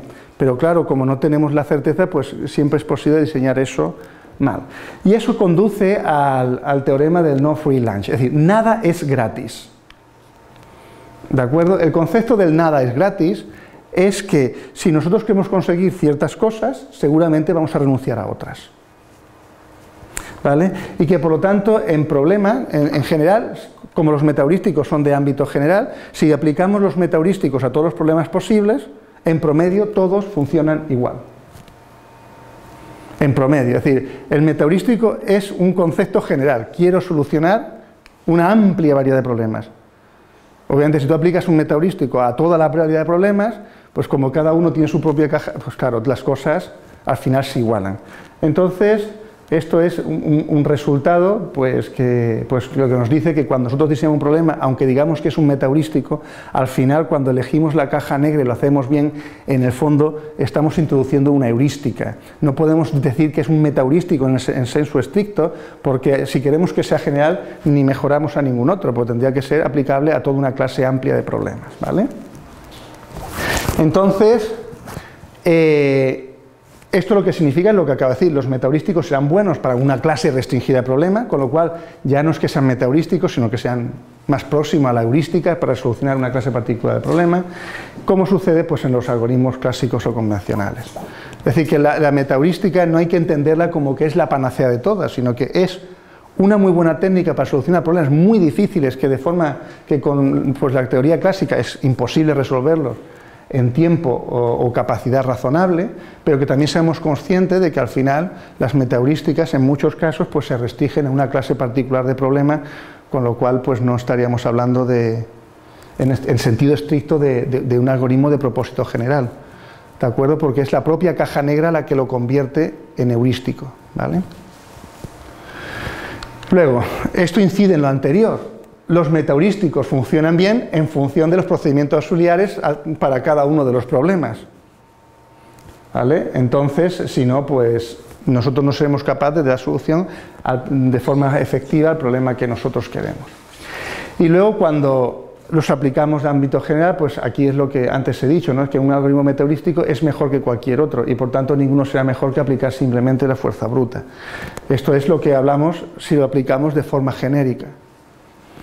Y por lo tanto, pues nosotros lo que tenemos que hacer es definir, pues, es decir, el éxito de los metaheurísticos realmente está en la inteligencia que se aplica en el diseño de los procedimientos auxiliares o de caja negra. El ejemplo es los genéticos. La, la evolución selecciona a los mejores, pero para llegar hasta donde estamos nosotros hoy día se han tardado millones de años. Si tenemos un problema muy grande, si lo dejamos aplicar tal cual nosotros dejamos las cosas que se recombinen sin introducir nada de inteligencia, en promedio lo que tardaremos también es mucho tiempo en dar solución, salvo que introduzcamos algo que acelere el proceso. ¿Vale? Bien, luego, pues desde el punto de vista de la programación de matemática, pues claro, son demasiado toscos o pobres. ¿Por qué? Porque no tienen en cuenta cosas eh, o, elementos matemáticos que se tienen en cuenta en programación matemática, como es las, la gesiana, es decir, las derivadas eh, segundas, ¿no? Eh, más que nada para, saber pues, la, forma, cómo evoluciona nuestra función objetivo, cómo evoluciona el espacio en el que estamos analizando. Entonces, los algoritmos metaheurísticos, a, lo sumo que llegan dentro que sería de, uso de las técnicas de programación matemática, es al gradiente y encima a un nivel muy básico pero no utilizan más allá. Sabemos que en la optimización matemática, para determinar si una función es un óptimo global o un óptimo local, pues se utiliza un aparato matemático muy, muy severo, ¿no? Y entonces se utilizan elementos que, que normalmente los metaheurísticos no se utilizan. La siguiente cuestión es que cuando nosotros diseñamos nuestra heurística dentro del metaheurístico, es decir, cuando diseñamos nuestra caja negra, que intuitivamente para el problema que estamos abordando es bueno, para que funcione bien tiene que estar correlado de alguna manera con el funcionamiento, tanto en crecimiento como decrecimiento, de la función objetivo y de la región factible. Es decir, tiene que tener una cierta recorrelación con algo que no, que no se explora. Es decir, si las heurísticas que yo defino en mi caja negra para solucionar el problema no están correladas con la, la evolución de la función objetivo, pues obviamente los resultados no, son, no serán los satisfactorios que debieran. ¿no? Entonces, bueno, pues eso es una, crítica, ¿no? que hay veces que aunque una función sea discreta, existen partes de esa, de, esa función, del perfil de la función, pues que existe la posibilidad de utilizar diferenciabilidad, diferenciabilidad o subdiferenciabilidad, depende de las posibilidades, y que nos podrían pues, dar unos resultados pues, también de mayor interés. Pero en cualquier caso, esto lo que nos invita es a una reflexión, y es que a pesar de lo que se puede pensar desde el aspecto teórico, esto lo único que nos hace es llegar a la conclusión que en el campo del diseño de algoritmos metaheurísticos, esto es más que en cualquier otro, incluso en el aspecto teórico, unas horas de lectura, reflexión y programación pueden ahorrar meses de tiempo de computación. Es decir, eh, la metaheurística eh, requiere de una reflexión sobre el problema incluso mayor que si se abordase a nivel teórico.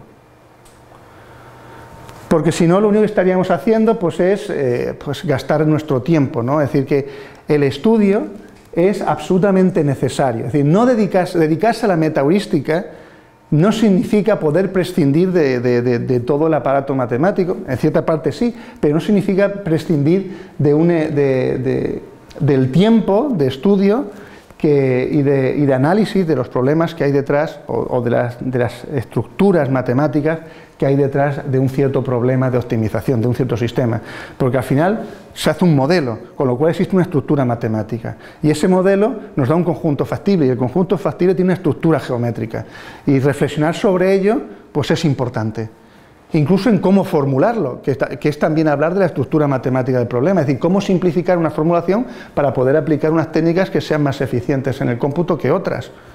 ¿De acuerdo? Es decir, los modelos anteriormente que hemos presentado, quizás dependiendo de la formulación del modelo, obtenemos unos resultados mejores u otros, mejores que otros cuando aplicamos alguna técnica de optimización. Entonces, las ventajas de los algoritmos metaheurísticos son, la primera, que son de propósito general con la salvedad que yo he dicho. Es decir, que al final alguna heurística particular hay que introducir. Segundo, funcionan bien. Y si funcionan bien, pues eso es, muy positivo. ¿no? La tercera, normalmente se implementan fácilmente. Es decir, son ideas muy intuitivas y por tanto que tienen una programación sencilla. Pero programación sencilla no significa que no se hayan dedicado muchísimas horas de trabajo a obtener eso. ¿De acuerdo? Y eso es un hecho que, pues, que hay que reconocer y subrayar. Y luego también generalmente son fácilmente paralelizables, porque al tener estructuras sencillas, pues podemos trabajar en paralelo de forma sencilla. Los inconvenientes, pues bueno, son algoritmos aproximados y no exactos en general, son altamente no determinísticos, es decir, que en muchos casos son muy probabilistas, por lo tanto, partiendo de un mismo punto de partida, podemos llegar a soluciones diferentes. Es decir, eso es lo que significa no determinista. Y luego, obviamente, presentan poca base teórica. Poca base teórica en el sentido de la programación matemática. Mucha base teórica en el estudio de la estructura matemática que hay detrás del problema. ¿De acuerdo? Es decir, cuando hablamos de base, poca base teórica, no nos, eh, no nos, referimos a que no se haga un análisis teórico del problema, porque existe una formulación matemática que hay que estudiar, sino que nos referimos al hecho de que no se aplican pues, los mismos conceptos teóricos que quizás se aplican pues, en la programación matemática clásica. Y que de ello pues, también tendréis varios seminarios a lo largo de este mes. Bien, entonces aquí tenéis una lista de todos los algoritmos metaheurísticos que yo he encontrado. De algunos casi no sé nada y hay que reconocerlo, de otros sé algo más, ¿no? Entonces, la lista que yo he encontrado son los de búsqueda aleatoria, búsqueda local, búsqueda local reactiva, búsqueda local en escalada, los algoritmos greedy, que suenan muy bien, eso en la literatura los encontráis, algoritmos genéticos, el enfriamiento simulado, la búsqueda tabú, algoritmo de colonias de hormigas, el enjambre de partículas, GRAPS, eh, búsqueda por difusión estocástica, búsqueda armónica musical, colonia de abejas, algoritmos culturales y la denominación de todos los anteriores. Esas son todas las clases de metaheurísticas. Observar que muchos de los metaheurísticos en qué están basados? En conceptos de carácter social, como tabú, en conceptos biológicos, como genéticos, en procedimientos industriales, como el, enfriamiento simulado, en el comportamiento de seres vivos en la naturaleza, la colonia de hormigas, el enjambre de partículas o la colonia de ovejas, o incluso en cuestiones tan, tan interesantes como puede ser eh, la música, ¿no? como la búsqueda armónica o musical. Nosotros, eh, en el tiempo que nos queda, revisaremos los que veis aquí en negrita. Es decir, búsqueda aleatoria por ser muy sencillos, de búsqueda aleatoria, pues saltaré a los algoritmos voraces, a los algoritmos genéticos, al enfriamiento simulado y a la búsqueda tabú. Y con eso, pues, se terminará el seminario. Este seminario, pues, como veis, que, cubre, pues, pues, una gran variedad de, materias. Entonces, ¿qué es la búsqueda aleatoria? Como su propio nombre indica, es la búsqueda de las soluciones basándonos en el principio de aleatoriedad, que puede ser en el sentido más estricto o un poco acotado, pero siempre en un principio de aleatoriedad. Observar que esta aleatoriedad tiene su importancia y ahora pues en la pizarra pues haré una descripción de por qué tiene su importancia. En primer lugar, la búsqueda aleatoria pura consiste en que seleccionamos varios conjuntos de, un conjunto de puntos al azar, el número que sea, y la mejor solución que obtengamos, esa es la solución. ¿Vale? Tened en cuenta que la búsqueda aleatoria o el resolver problemas deterministas de forma aleatoria no es una novedad. En los métodos Monte Carlo lo que buscan en eso, ¿no? por ejemplo, es de forma aleatoria cubrir todo el problema y luego dar una solución aproximada, por supuesto. O sea que la aleatoriedad en sí misma pues tampoco tiene por qué ser mala, dependiendo del tipo de problema. Multicomienzo, es decir, se utilizan métodos de búsqueda local, es decir, seleccionamos un conjunto de semillas de inicio y para cada una de esas semillas ponemos en marcha un proceso de búsqueda local, que puede ser pues, cualquiera de los procedimientos clásicos en programación no lineal son de búsqueda local porque al final lo que nos hace el gesiano es decirnos si uno es un óptimo relativo o no. Para saber si es global o no es global se necesita algo más, se necesita saber las propiedades de las funciones que definen tanto el conjunto factible como la función objetivo. Entonces, el multicomienzo, búsqueda local, que puede ser, como ya os he dicho, alguno de los clásicos. Búsquedas por direcciones aleatorias. Es decir, dado un punto, se eligen varias direcciones aleatorias y entonces en esas eh, direcciones se explora. Entonces, aunque la búsqueda aleatoria es muy sencillo, tiene un interés. La búsqueda aleatoria, en alguna de sus variedades, lo que nos permite es salir de, bueno, nos da la oportunidad de escaparnos de óptimos locales. ¿De acuerdo? Porque si seguís cualquier algoritmo, si tenéis una función de estas características, estas que son de este tipo, si estamos por aquí, lo más probable es que nos quedemos por aquí, en alguno de los óptimos locales. Entonces, para poder escapar de este tipo de soluciones, necesitamos algún mecanismo que nos libre de los óptimos locales, que casi cualquier método nos los va a reconocer como quizás óptimos globales. Entonces, la aleatoriedad lo que nos va a permitir es poder saltar de este punto quizás a este otro punto. Y entonces, bueno, aplicando ese concepto de aleatoriedad, de alguna manera lo que se busca es la optimización global. Obviamente de una forma un poco burda, porque nos basamos en la aleatoriedad, no tenemos control sobre cómo buscamos, pero sí que hacemos, eh, hacemos el esfuerzo de evitar los óptimos locales, sobre todo en problemas que tienen este tipo de perfil en su función objetivo y que entonces pues hacen muy difícil encontrar este óptimo. Sobre todo si esto lo estrechamos un poquito más, lo más probable es que casi siempre nos lo saltemos. ¿Vale? Los algoritmos voraces. Como su propio nombre indica, significa que estos van muy rápido. Es decir, que son eh, algoritmos en el que eh, el algoritmo progresa eh, a una velocidad muy, muy alta, es decir, que se exploran, va explorando el conjunto factible, es decir, la región definida por las restricciones de forma muy rápida, pero con el problema de que explora eh, de forma miópica en algún sentido. ¿no? Es decir, lo que hace los algoritmos voraces es que en cada etapa se va al mejor sitio posible. Eso es un algoritmo voraz. ¿Vale? Entonces eso significa que, progresa muy rápido, pero luego tiene sus inconvenientes, como ahora veremos. Entonces, ¿qué elementos eh, subyacen detrás de cualquier algoritmo voraz? Pues subyacen cinco elementos. ¿no? El primero, el conjunto de candidatos.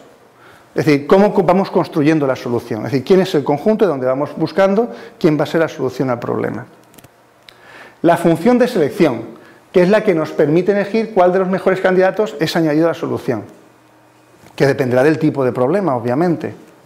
Luego, una función de factibilidad, que nos, pueden, que nos permiten decir si lo que hemos elegido es factible o no es factible. Porque si lo que intentan es optimizar muy rápido, es progresar muy rápido en la función objetivo, significa que quizás a lo mejor nos salgamos del conjunto factible en algún caso, con lo cual tenemos que tener algún tipo de función de factibilidad que nos evite ese tipo de circunstancias. Una función objetivo que asigna el valor a la solución o a una solución parcial y luego una función solución que indicará cuándo hemos llegado a una solución completa, es decir, cuándo paramos. ¿Vale? Entonces estos son los cinco elementos básicos que suele tener cualquier algoritmo voraz o greedy que después veremos algunos de ellos y que si queréis vosotros mismos podéis chequear o comprobar en el algoritmo que podéis encontrar en cualquier sitio cómo estos elementos se dan. Entonces, los algoritmos voraces o greedy pues suelen tener un desempeño bastante bueno en los problemas en los que se aplica. Pues luego veremos también por qué. Entonces, para que un algoritmo voraz funcione bien, la estructura del problema debe tener estas dos características. Es la propiedad de elección voraz. La propiedad de elección voraz es que lo que yo elijo como bueno en un cierto momento es lo bueno. Entonces, eso es muy importante porque eso significa que cada vez que optimizo en un punto dado, no tengo que mirar hacia atrás. Con lo cual significa que la exploración, es decir, el número de soluciones que explora para llegar a la solución óptima es pequeño, por lo tanto son muy rápidos. ¿De acuerdo? Es decir, avanza, progresa muy rápido. Luego, propiedad de subestructura óptima, es decir, que si obtenemos una solución óptima, cualquier, es decir, cualquier subproblema, la parte correspondiente de la solución óptima es solución también de ese subproblema. Esa es la otra peculiaridad que debe tener un problema para que pueda aplicarse un algoritmo voraz. Entonces, ¿cuál es el problema de los algoritmos voraces? Es que van tan rápidos que muchas veces se quedan en óptimos locales.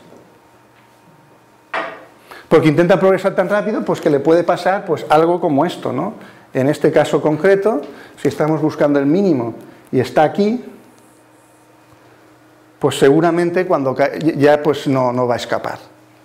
¿Por qué? Porque no reconsidera no reconsidera sus decisiones. Él va avanzando de forma miópica, es decir, yo estoy aquí y elijo lo mejor en este momento, y estoy aquí y vuelvo a elegir lo mejor. Y entonces pues, pues se puede caer en un óptimo global, local y entonces pues quedarse allí, en algunos casos. ¿no? Entonces, la razón de eso es lo que he dicho, es decir, es que realmente explora muy pocas soluciones y descarta muchas, por eso es un algoritmo muy rápido. Claro, al descartar tantas soluciones, pues podemos encontrarnos con problemas como este y llegar a óptimos locales. Bueno, luego, hay una cosa que es fundamental en los algoritmos voraces. Si se demuestran que proporcionan la solución óptima global, son los mejores posibles. No hay ninguno que los pueda mejorar. Es decir, no hay que decir, si hay un algoritmo voraz exacto, es decir, que obtiene solución óptima para un problema, no hace falta que busquéis otro más rápido, porque no vais a conseguirlo. ¿Vale? Entonces, esa es una propiedad fundamental. Y aquí tenéis tres ejemplos en los que podéis comparar la estructura que dije antes, es decir, qué estructura debe tener problema para que pueda aplicarse un algoritmo voraz y qué elementos tienen los algoritmos voraces. Aquí tenéis tres de ellos. El algoritmo de Kruskal, el algoritmo de Pring y el algoritmo de Dijkstra-Moore. Esos tres algoritmos son algoritmos greedy. Por lo tanto, cuando yo os dije que no hay que molestarse en buscar un algoritmo metaheurístico para solucionar el problema de ruta más corta, bueno, es que el algoritmo heurístico que ya se aplica para el algoritmo de ruta más corta es un algoritmo greedy, por lo tanto no podemos mejorarlo. ¿Vale? Porque es el que menos soluciones va a explorar. En la ruta más corta, si recordáis el algoritmo, en cada punto elige su mejor opción. Si eso siempre es lo mejor, ¿qué, más que eso podemos hacer? ¿no? Es decir, realmente lo que está haciendo es un algoritmo, en el caso del Dijkstra Moore, es un algoritmo de búsqueda global muy eficiente. La otra clase, los algoritmos genéticos. Y vamos bastante bien de tiempo, porque nos quedan 15 minutos y tres o cuatro algoritmos que trataré de revisar rápidamente. Eh, el algoritmo genético es otra técnica metaheurística de búsqueda global. Es decir, realmente cuando hablamos de selección natural existe cierta aleatoriedad. Dentro, cuando se diseñan los algoritmos genéticos hay cierta aleatoriedad. Y la aleatoriedad siempre lo que, busca, lo que busca es salirse de los óptimos locales para buscar el óptimo global, que es lo que se pretende. ¿vale? Entonces, en este caso es de búsqueda global y además es de carácter general. Es un algoritmo que su pretensión, o es una filosofía cuya pretensión es resolver cualquier tipo de problema. Entonces, ¿en qué se basa? Pues en imitar elementos de la biología evolutiva y la genética. Es decir, es la selección natural. Es decir, que nada más los más fuertes sobreviven. Y entonces, sobreviviendo cada vez los más fuertes, lo normal es que al final tengamos el más fuerte posible, que será una solución que estará muy próxima al óptimo global. Bien, ¿Cuáles son las ideas básicas que podemos encontrar detrás de un algoritmo genético? Pues tenemos la población de soluciones candidatas, que son, podemos llamar, se suelen llamar en la literatura individuos, criaturas o fenotipos, es decir, lo que se ve. Fenotipo es lo que se ve, es decir, qué desempeño nos da esta solución. Y luego tendríamos el conjunto de representantes abstractos que seleccionamos de aquí, que son los cromosomas o genotipos, es decir, aquellos individuos que son los mejores, ¿qué genética tienen? Para buscar la posibilidad de mejorarlos. ¿Vale? Entonces luego tendríamos la bondad o calidad de cada individuo en el conjunto de representantes. Es decir, yo tengo mis representantes, he elegido los que sea, y luego lo que mido es lo buenos que son. O lo adaptados que están, es decir, si estamos hablando de evolución natural, lo adaptados que están al medio. Y luego, pues obviamente, una vez que tengo individuos, lo que hay que hacer es la recombinación, es decir, el cruce, la reproducción o la mutación. La mutación aleatoria es importante. Es decir, el concepto aleatorio está muy vinculado a evitar, como antes, y es por insistir, este tipo de cuestiones.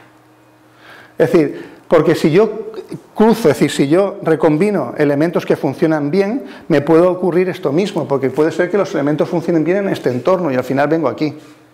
Entonces la mutación lo que puede hacer es que me den un salto hacia acá. Y esa mutación es la que me va a permitir poder encontrar el óptimo global. ¿De acuerdo? Entonces ese punto de aleatoriedad pues tiene también su interés. Por eso empecé por la búsqueda aleatoria, porque aunque es muy sencilla, detrás de ella lo que está es el intento de buscar la optimización global. ¿Vale? Y entonces, aunque un principio fácil, detrás tiene lo que sería pues una intención muy sólida y muy fuerte, ¿vale? Que es la optimización global. Entonces, los algoritmos genéticos, aparte de los elementos anteriores que he comentado, pues tienen dos elementos básicos. Es la representación genética, es decir, cómo describimos un individuo. Si hablamos de genética, pues tendremos que buscar cadenas de genes que, describan al individuo. Entonces suelen ser normalmente cadenas de bits, 0, 1, si tienen determinadas características, aunque también es posible tener eh, cadenas genéticas en las que se incluyen otro tipo de números, ¿no? pero normalmente se busca de bits porque luego para sumar es bastante más sencillo y para hacer el cruce entre 0 y 1 es bastante más fácil, ¿vale? Luego, y normalmente de tamaño fijo, es decir, que cada individuo pues, tiene la misma eh, representación genética. Distintos valores, pero el mismo número de genes, ¿vale? Y luego la función de calidad, que obviamente la función de calidad depende del problema. Bien, estos son los elementos que nosotros tenemos y luego tienen unas etapas básicas, que es el inicio y la selección.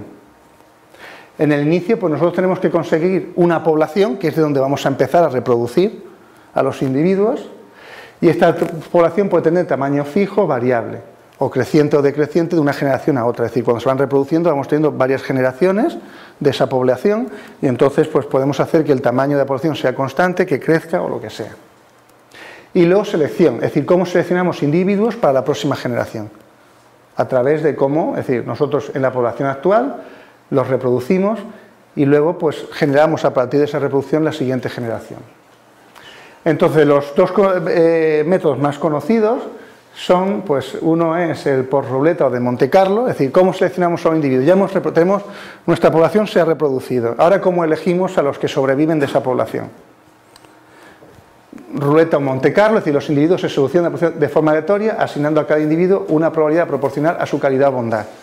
Es decir, cuanto mejor sea el individuo, mayor es la probabilidad de que permanezca en la población su descendencia. O bien por torneo. Se eligen eh, un conjunto de individuos y nos quedamos con el mejor. Es decir, se seleccionan y el mejor se queda, los demás desaparecen. ¿Vale? O bien se elige el ganador de forma aleatoria de acuerdo también a unas probabilidades, pero por torneo. Es decir, existe una competencia Vamos seleccionando distintos subconjuntos de un tamaño T y nos vamos quedando con el mejor. Y eso es, y eso hacemos tantas veces como eh, individuos en la siguiente generación queramos tener. Lo siguiente es reproducirse, porque hemos dicho que luego, una vez que se reproducen, la población hay que descartar el individuos y, generar la siguiente generación.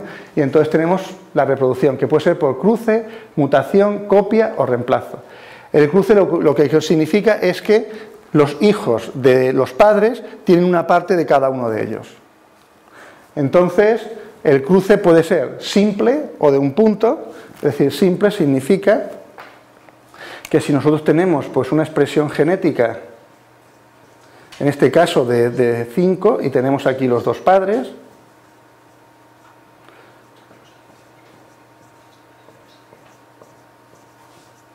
entonces simple es que elegimos un punto por ejemplo, aquí, y entonces este individuo tendría dos hijos. Uno con esta parte del padre 1 y esta parte del padre 2 y otro con esta parte del padre 2 y esta parte del padre 1. Eso sería el cruce simple a un punto. A dos puntos sería exactamente lo mismo pero con dos cortes y generaríamos los posibles hijos que obtenemos eh, de tres o más puntos y uniforme. El uniforme significa que yo aleatoriamente cada gen elijo si es del padre o de la, madre. Entonces yo tengo dos hijos pues, derivados del padre y la madre en los que cada gen pues, depende de una probabilidad del 50% entre uno de los padres y el otro. Y entonces vamos recombinando. Aquí pues elijo uno, pues probabilidad de que tenga este o este. Entonces uno tendrá este y otro este, así sucesivamente. Y se van recombinando. Y luego cruce de cadenas no binarias. Si tenemos cadenas no binarias significa que tenemos números, es decir, que la expresión genética de un fenotipo, de un individuo, pues vendría dada por una serie de coordenadas que son numéricas, números reales. Bueno, la forma de cruzarlos en ese caso pues puede ser la media aritmética, la media geométrica o cualquier otro tipo de función que recombine los valores de, de ambos padres. ¿Vale? La mutación. Esto es fundamental. Aquí lo que tenemos que decidir es si nosotros, una vez que hemos generado nuestros hijos, podemos tener hijos mutados. La mutación se puede producir en, un solo gen o en más, eso hay que decidirlo. Y entonces esa mutación es la que nos puede permitir pues, escapar de este tipo de cuestiones. Porque se nos muta un gen y entonces nos da un individuo que está en esta zona. Y entonces, si tenemos individuos de la población en esta zona y en esta, pues cuando recombinemos seguramente podremos caer por aquí. Entonces la mutación lo que consiste es en cambiar la expresión genética de un individuo con una cierta probabilidad que puede ser más o menos grande. Normalmente se considera de menor del 1%. Luego esta es la reproducción asexual, que es por copia. Es decir, el más fuerte se copia a sí mismo y, ya está, y ese va para, para adelante. ¿no? Y luego está por el de reemplazo. Es decir, trabajamos con una población de tamaño constante a lo largo de todo el algoritmo y entonces algunos, un cierto número de individuos son reemplazados en cada iteración por otros individuos que son mejores que ellos. Entonces, ¿cómo se reemplazan? De forma aleatoria, el nuevo individuo se inserta en un lugar cualquiera de la población, se reemplazan los padres, es decir, se obtiene espacio para nueva descendencia, liberando el espacio ocupado por los padres. Es decir, los padres, podemos decir los más o menos adaptados, pues los eliminamos. Reemplazo de similares, es decir, si obtenemos el ajuste de la descendencia, se soluciona un grupo de individuos, normalmente entre 6 y 10, pero puede ser otro número. Esto es una sugerencia que hacen aquellos que trabajan este tipo de algoritmos. Y entonces reemplazamos aleatoriamente todos los que necesitemos hasta llegar a este número. Y luego reemplazo de los peores. A los peores los eliminamos y los sustituimos por los nuevos que son mejores que se supone, claro, cuando uno va reemplazando los peores, entiende que está aplicando un algoritmo tipo, una filosofía greedy, ¿no? Me quito los peores y dejo los mejores, e intento progresar lo más rápido posible. En las otras, siempre dejas la oportunidad de revisitar algún tipo de solución que, que no era tan buena y que por lo tanto a lo mejor puede ser, luego nos puede ayudar a obtener el óptimo global. Pero bueno, eso ya es una decisión del que diseña el algoritmo y también de las características del problema que se pretende resolver y luego termina. Los algoritmos, como todos, pues este tiene que también termina. Entonces, hay que repetir pues, todo lo que hemos visto con anterioridad, de los cruces, los reemplazos, etc. Y entonces terminamos cuando la solución satisface alguna serie de criterios, los que nosotros fijemos. Normalmente son criterios sobre la bondad o calidad del individuo que hemos obtenido, es decir, la solución obtenida si, hemos estado ya ejecutando muchísimas veces el algoritmo, es decir, cuántas generaciones vamos a explorar, el tiempo prefijado de ejecución de algoritmos se ha alcanzado, es decir, no queremos estar ejecutándolo eternamente, entonces damos un tiempo. No existen mejoras significativas o una combinación de las anteriores. Obviamente, para llegar a, buenas soluciones, en alguno de los puntos anteriores hay que introducir esa heurística que nos permita seleccionar a los individuos de forma inteligente. Porque esto es el, carácter general del algoritmo genético. Pero quizás para un problema particular podemos prescindir de estas normas generales y utilizar esos elementos heurísticos o de caja negra que nos permitan pues, acelerar el proceso de mejora, eh, que es lo que se pretende, ¿no? conseguir buenos tiempos y buenas soluciones. Entonces esto sería pues, un posible pseudocódigo para un algoritmo genético, ¿no? Población y individuos, calidad de esa, población y repetir este proceso. Selección de individuos, operadores genéticos. En los operadores genéticos pues podéis introducir ahí elementos de caja negra, evaluación de calidad de los nuevos individuos y reemplazo. He puesto aquí los peores, pero pueden ser otros, pueden ser cualquiera de las otras ideas que, pues, expuse hace un momento. Entonces, algunas cuestiones de los algoritmos genéticos. Bueno, la repetición de la evolución puede ser costosa, es decir, evaluar continuamente los individuos pues puede llevar su tiempo. El concepto mejor es un concepto relativo, porque es mejor con respecto a, no con respecto a todo. Eh, también tiene esta propiedad del no free lunch. Hay veces que también pues, converge a óptimos locales, no a óptimos globales.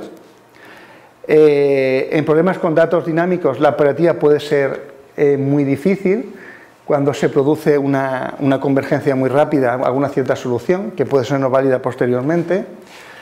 Puede fallar en problemas en los que la medida de calidad es dicotómica, porque entonces pues el algoritmo tiene que estar muy bien definido para que discrimine bien. El cómo seleccionar los individuos es bastante importante, es decir, que no es una tarea sencilla, hay que decidirlo en función del problema y de las características de las estructuras del mismo. Eh, pueden localizar eh, buenas soluciones rápidamente en muchas clases de problemas, esto es una cosa muy positiva, es decir, puede ser muy rápido, observar que ese punto de aleatoriedad que hablábamos al principio, que parecía que era un algoritmo que, estaba definido así con poca reflexión, pues tiene su, su interés, porque aquí esa aleatoriedad también nos permite llegar rápidamente a soluciones.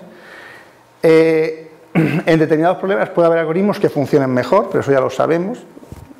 Eh, todo eso pasa con todos. Y es interesante introducir elementos de aprendizaje durante la ejecución del algoritmo. Es decir, este tipo de cuestiones de introducir heurísticas que mejoren funciones de el, funcionamiento de las meteorísticas siempre es interesante. En el caso de los genéticos, pues también. Vamos al enfriamiento simulado. En el enfriamiento simulado, en, este caso concreto, bueno, no desesperéis, solo me quedan cinco transparencias. En el enfriamiento simulado también es un método heurístico de búsqueda global basado en el enfriamiento metalúrgico. Es decir, el enfriamiento metalúrgico se produce una unidad de enfriamiento hasta que se llega a una situación estable. Pues si se intenta imitar ese comportamiento de enfriamiento. Es decir, para que una pieza metalúrgica salga bien, el enfriamiento tiene que estar controlado y tiene que descender de una forma adecuada. Entonces, si todo se va enfriando de forma razonable, pues la estructura de lo que se obtiene pues es lo suficientemente sólida.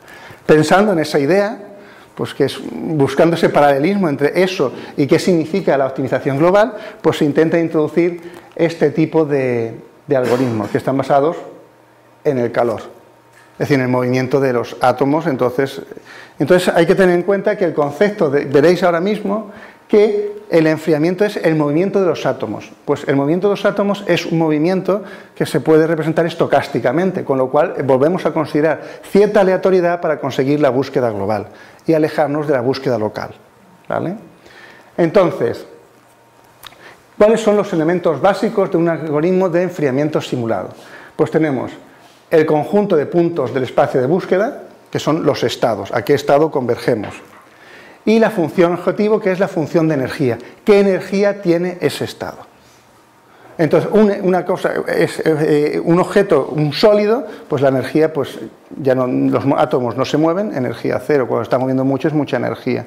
¿De acuerdo? Lo que pretendemos es que aquello pues, se vaya enfriando. Bueno, la iteración básica es en cada paso se considera un estado vecino al actual, es decir, pasamos de un estado a otro. Es decir, si vamos al, caso del proceso de enfriamiento industrial, un movimiento de dos átomos a otro, un estado que son estadísticos de un sitio de uno a otro. Entonces existen unas probabilidades que son elegidas de forma que se tienda al estado de menor energía, al estado estable. ¿Vale? Es que, es cuando se solidifica perfectamente el objeto. Entonces, esto tenemos que repetirlo hasta que se satisface algún criterio de parada.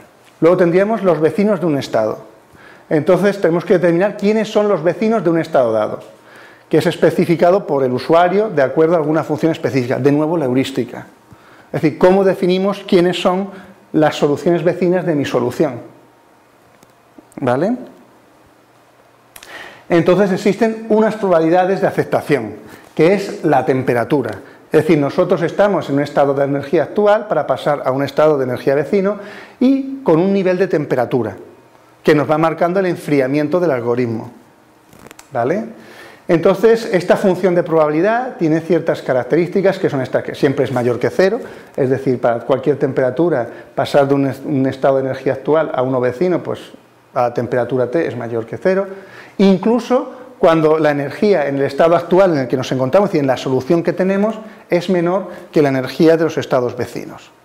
Con lo cual estamos permitiendo que si caemos en un óptimo local, poder escapar.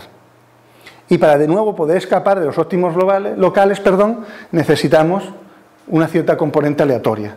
Al principio, cuando yo hablaba de los metaheurísticos y de los heurísticos, decía que todos ellos tenían una cierta componente probabilística, estocástica, y es por este tipo de razones. La búsqueda global tiene que evitar los óptimos locales, sobre todo en funciones que tienen este tipo de perfil. Bueno, entonces, esto intenta prevenir. Luego, pues tenemos esta conducción, es decir, cuando la temperatura converge a cero, la probabilidad de cambio, cuando va enfriándose, pues ya no, los cambios son menores cada vez. ¿De acuerdo?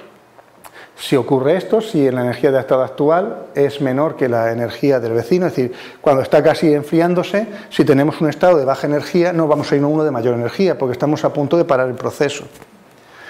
Luego el límite de esta, cuando t tiende a cero, esta probabilidad siempre es mayor que cero. Si la energía actual pues es mejor, es peor que la energía, en este caso la energía del actual es, mayor que la energía que se asocia a un estado vecino.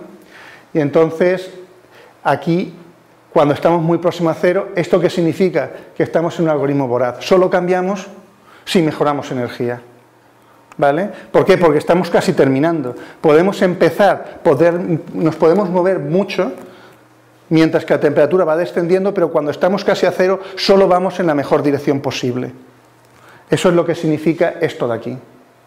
Bueno, y esto pues, este es que va decreciendo, es decir, eh, eh, la, probabilidad es decreciente con respecto a diferencia, ¿vale? que esto es simplemente una propiedad que podemos prescindir de ella, es una propiedad matemática que en algunos casos introduce y en otros no. Lo importante pues, son estos dos elementos, es decir, que podemos movernos, es decir, podemos reconsiderar estados peores que el que tengo, y lo segundo es que conforme se está enfriando el proceso, es decir, conforme el algoritmo está a punto de terminar, tenemos un algoritmo greedy. Simplemente buscamos la mejora. ¿Vale? Es decir, actuamos miópicamente de cara al final en el enfriamiento. Entonces observamos que con estas propiedades la evolución del algoritmo depende de cómo evoluciona eh, la temperatura T. Entonces, ¿cómo vamos bajando la temperatura? Pues eso es una decisión que hay que tomar, depende del problema. ¿Cómo buscamos los vecinos? Pues también es una cuestión que depende de la estructura del problema. Por lo tanto, en estos de enfriamiento simulado, aunque esta es la estructura general, al menos tenemos dos elementos de caja negra, cómo enfriamos y cómo elegimos vecinos. ¿Vale? Aquí tenéis algunos esquemas. Entonces la temperatura vamos reduciéndola desde donde queráis hasta cero que es cuando termina el, algoritmo, y entonces tenemos que, deducimos de, todo lo que he comentado, que cuando aplicamos este tipo de algoritmos de enfriamiento simulado, tenemos que fijar estas cuestiones que ya he comentado antes. Espacio de estados, que son las soluciones, el conjunto factible, la función de energía, cómo medimos si una función es buena o mala, cuanto menos energía tenga es mejor, cuanto más energía tenga es peor. El generador de vecinos, hay que decidir quiénes son nuestros vecinos, la función de probabilidad de aceptación, que es la que teníamos antes, que hay que definirla, y el esquema de enfriamiento. Todos estos son elementos que en este tipo de algoritmos hay que definir. Con lo cual, pues introducimos dentro de esta metaheurística pues muchas heurísticas, ¿vale? Entonces, si elegís aquí bien, buenas soluciones. Si elegimos mal, pues malas soluciones, ¿no? Luego estaría la búsqueda tabú que ya estamos casi acabando, la búsqueda tabú. Entonces, la búsqueda tabú pues son técnicas de búsqueda local, curiosamente. No son, las anteriores eran técnicas de búsqueda global, estas son técnicas de búsqueda local. ¿Vale? Entonces, eh, pero aunque son algoritmos, son técnicas de búsqueda local, son mejores que los algoritmos de búsqueda local convencionales. Es decir, nos permiten obtener mejores resultados porque también van a introducir un elemento no aleatorio en este caso que nos permite explorar soluciones que en algún caso no serían exploradas o no salir de lugares de donde no debiéramos salir porque ahí es donde se encuentra la solución óptima. Entonces, ¿cómo mejoran la búsqueda local? local perdón, utilizando estructuras de memoria. Es decir, esas estructuras de memoria lo que nos van a hacer es memorizar ciertos elementos del proceso de eh, la evolución del algoritmo para que no se cometan errores y siempre intentemos ir mejorando. Entonces, la cuestión es un algoritmo de búsqueda local porque utiliza un procedimiento de búsqueda local o de vecindad para moverse de una a otra, ¿vale? Entonces, en la búsqueda tabú, algunos de los elementos que, que, se tienen que considerar si queréis pues, aplicar este tipo de algoritmo, el primer elemento es la lista de tabú, que es una estructura de memoria muy importante dentro de estos algoritmos. Porque esta es la que nos permite determinar qué soluciones son admitidas, admitidas como vecinas de una dada. Si yo tengo una solución, tengo muchas vecinas, pero no todas las vecinas puedo visitarlas. ¿Por qué? Porque son tabú. No me puedo relacionar con ellas. Con lo cual mi búsqueda irá en otro sentido. Pero en las que están en la lista tabú no. El límite tabú es cuánto tiempo mantengo bloqueada ese tipo de soluciones. ¿De acuerdo? Es decir, nosotros tenemos que fijar un tiempo en el que nosotros no vamos a fijar en esas soluciones, sino que nos vamos a fijar en otras soluciones. Entonces, tenemos la lista tabú, el límite tabú y la exclusión tabú, que es la que excluye las soluciones de la vecindad de una solución que forme parte de la lista tabú. Obviamente, todo este tipo de cuestiones, cuando algo es tabú o no es tabú y cómo se excluye y cómo se admite, pues hay, que, hay que definirlo. ¿no? Entonces, esto sería de forma general, es a lo bruto, ¿no? Soluciones tabú. Pero nosotros lo que podemos hacer es bloquear partes, es decir, ciertas características de las soluciones que no nos gustan. ¿Vale? O que sí nos gustan, dependiendo en, el sentido que, lo, dirijamos. Entonces, podemos, en vez de hablar de una lista tabú de soluciones, de lista tabú de atributos o movimientos. Entonces, los atributos de las soluciones recientemente exploradas son etiquetados como tabú activos. Es decir, las que ya hemos visto hace poco, pues ya, sabemos cómo son. ¿Vale? Y entonces los que buscamos son soluciones que no tengan todas las características de las soluciones anteriores, porque yo lo que quiero es mejorar y quiero buscar cosas que sean distintas. Entonces, esto no se hace de forma probabilística, pero de forma determinista, lo que se intenta es salir de este tipo de situaciones. Es decir, si yo tengo una solución de estas características y no quiero visitarla más, voy a forzar a irme a otro tipo de solución que a lo mejor me aproxime al óptimo global. ¿Vale?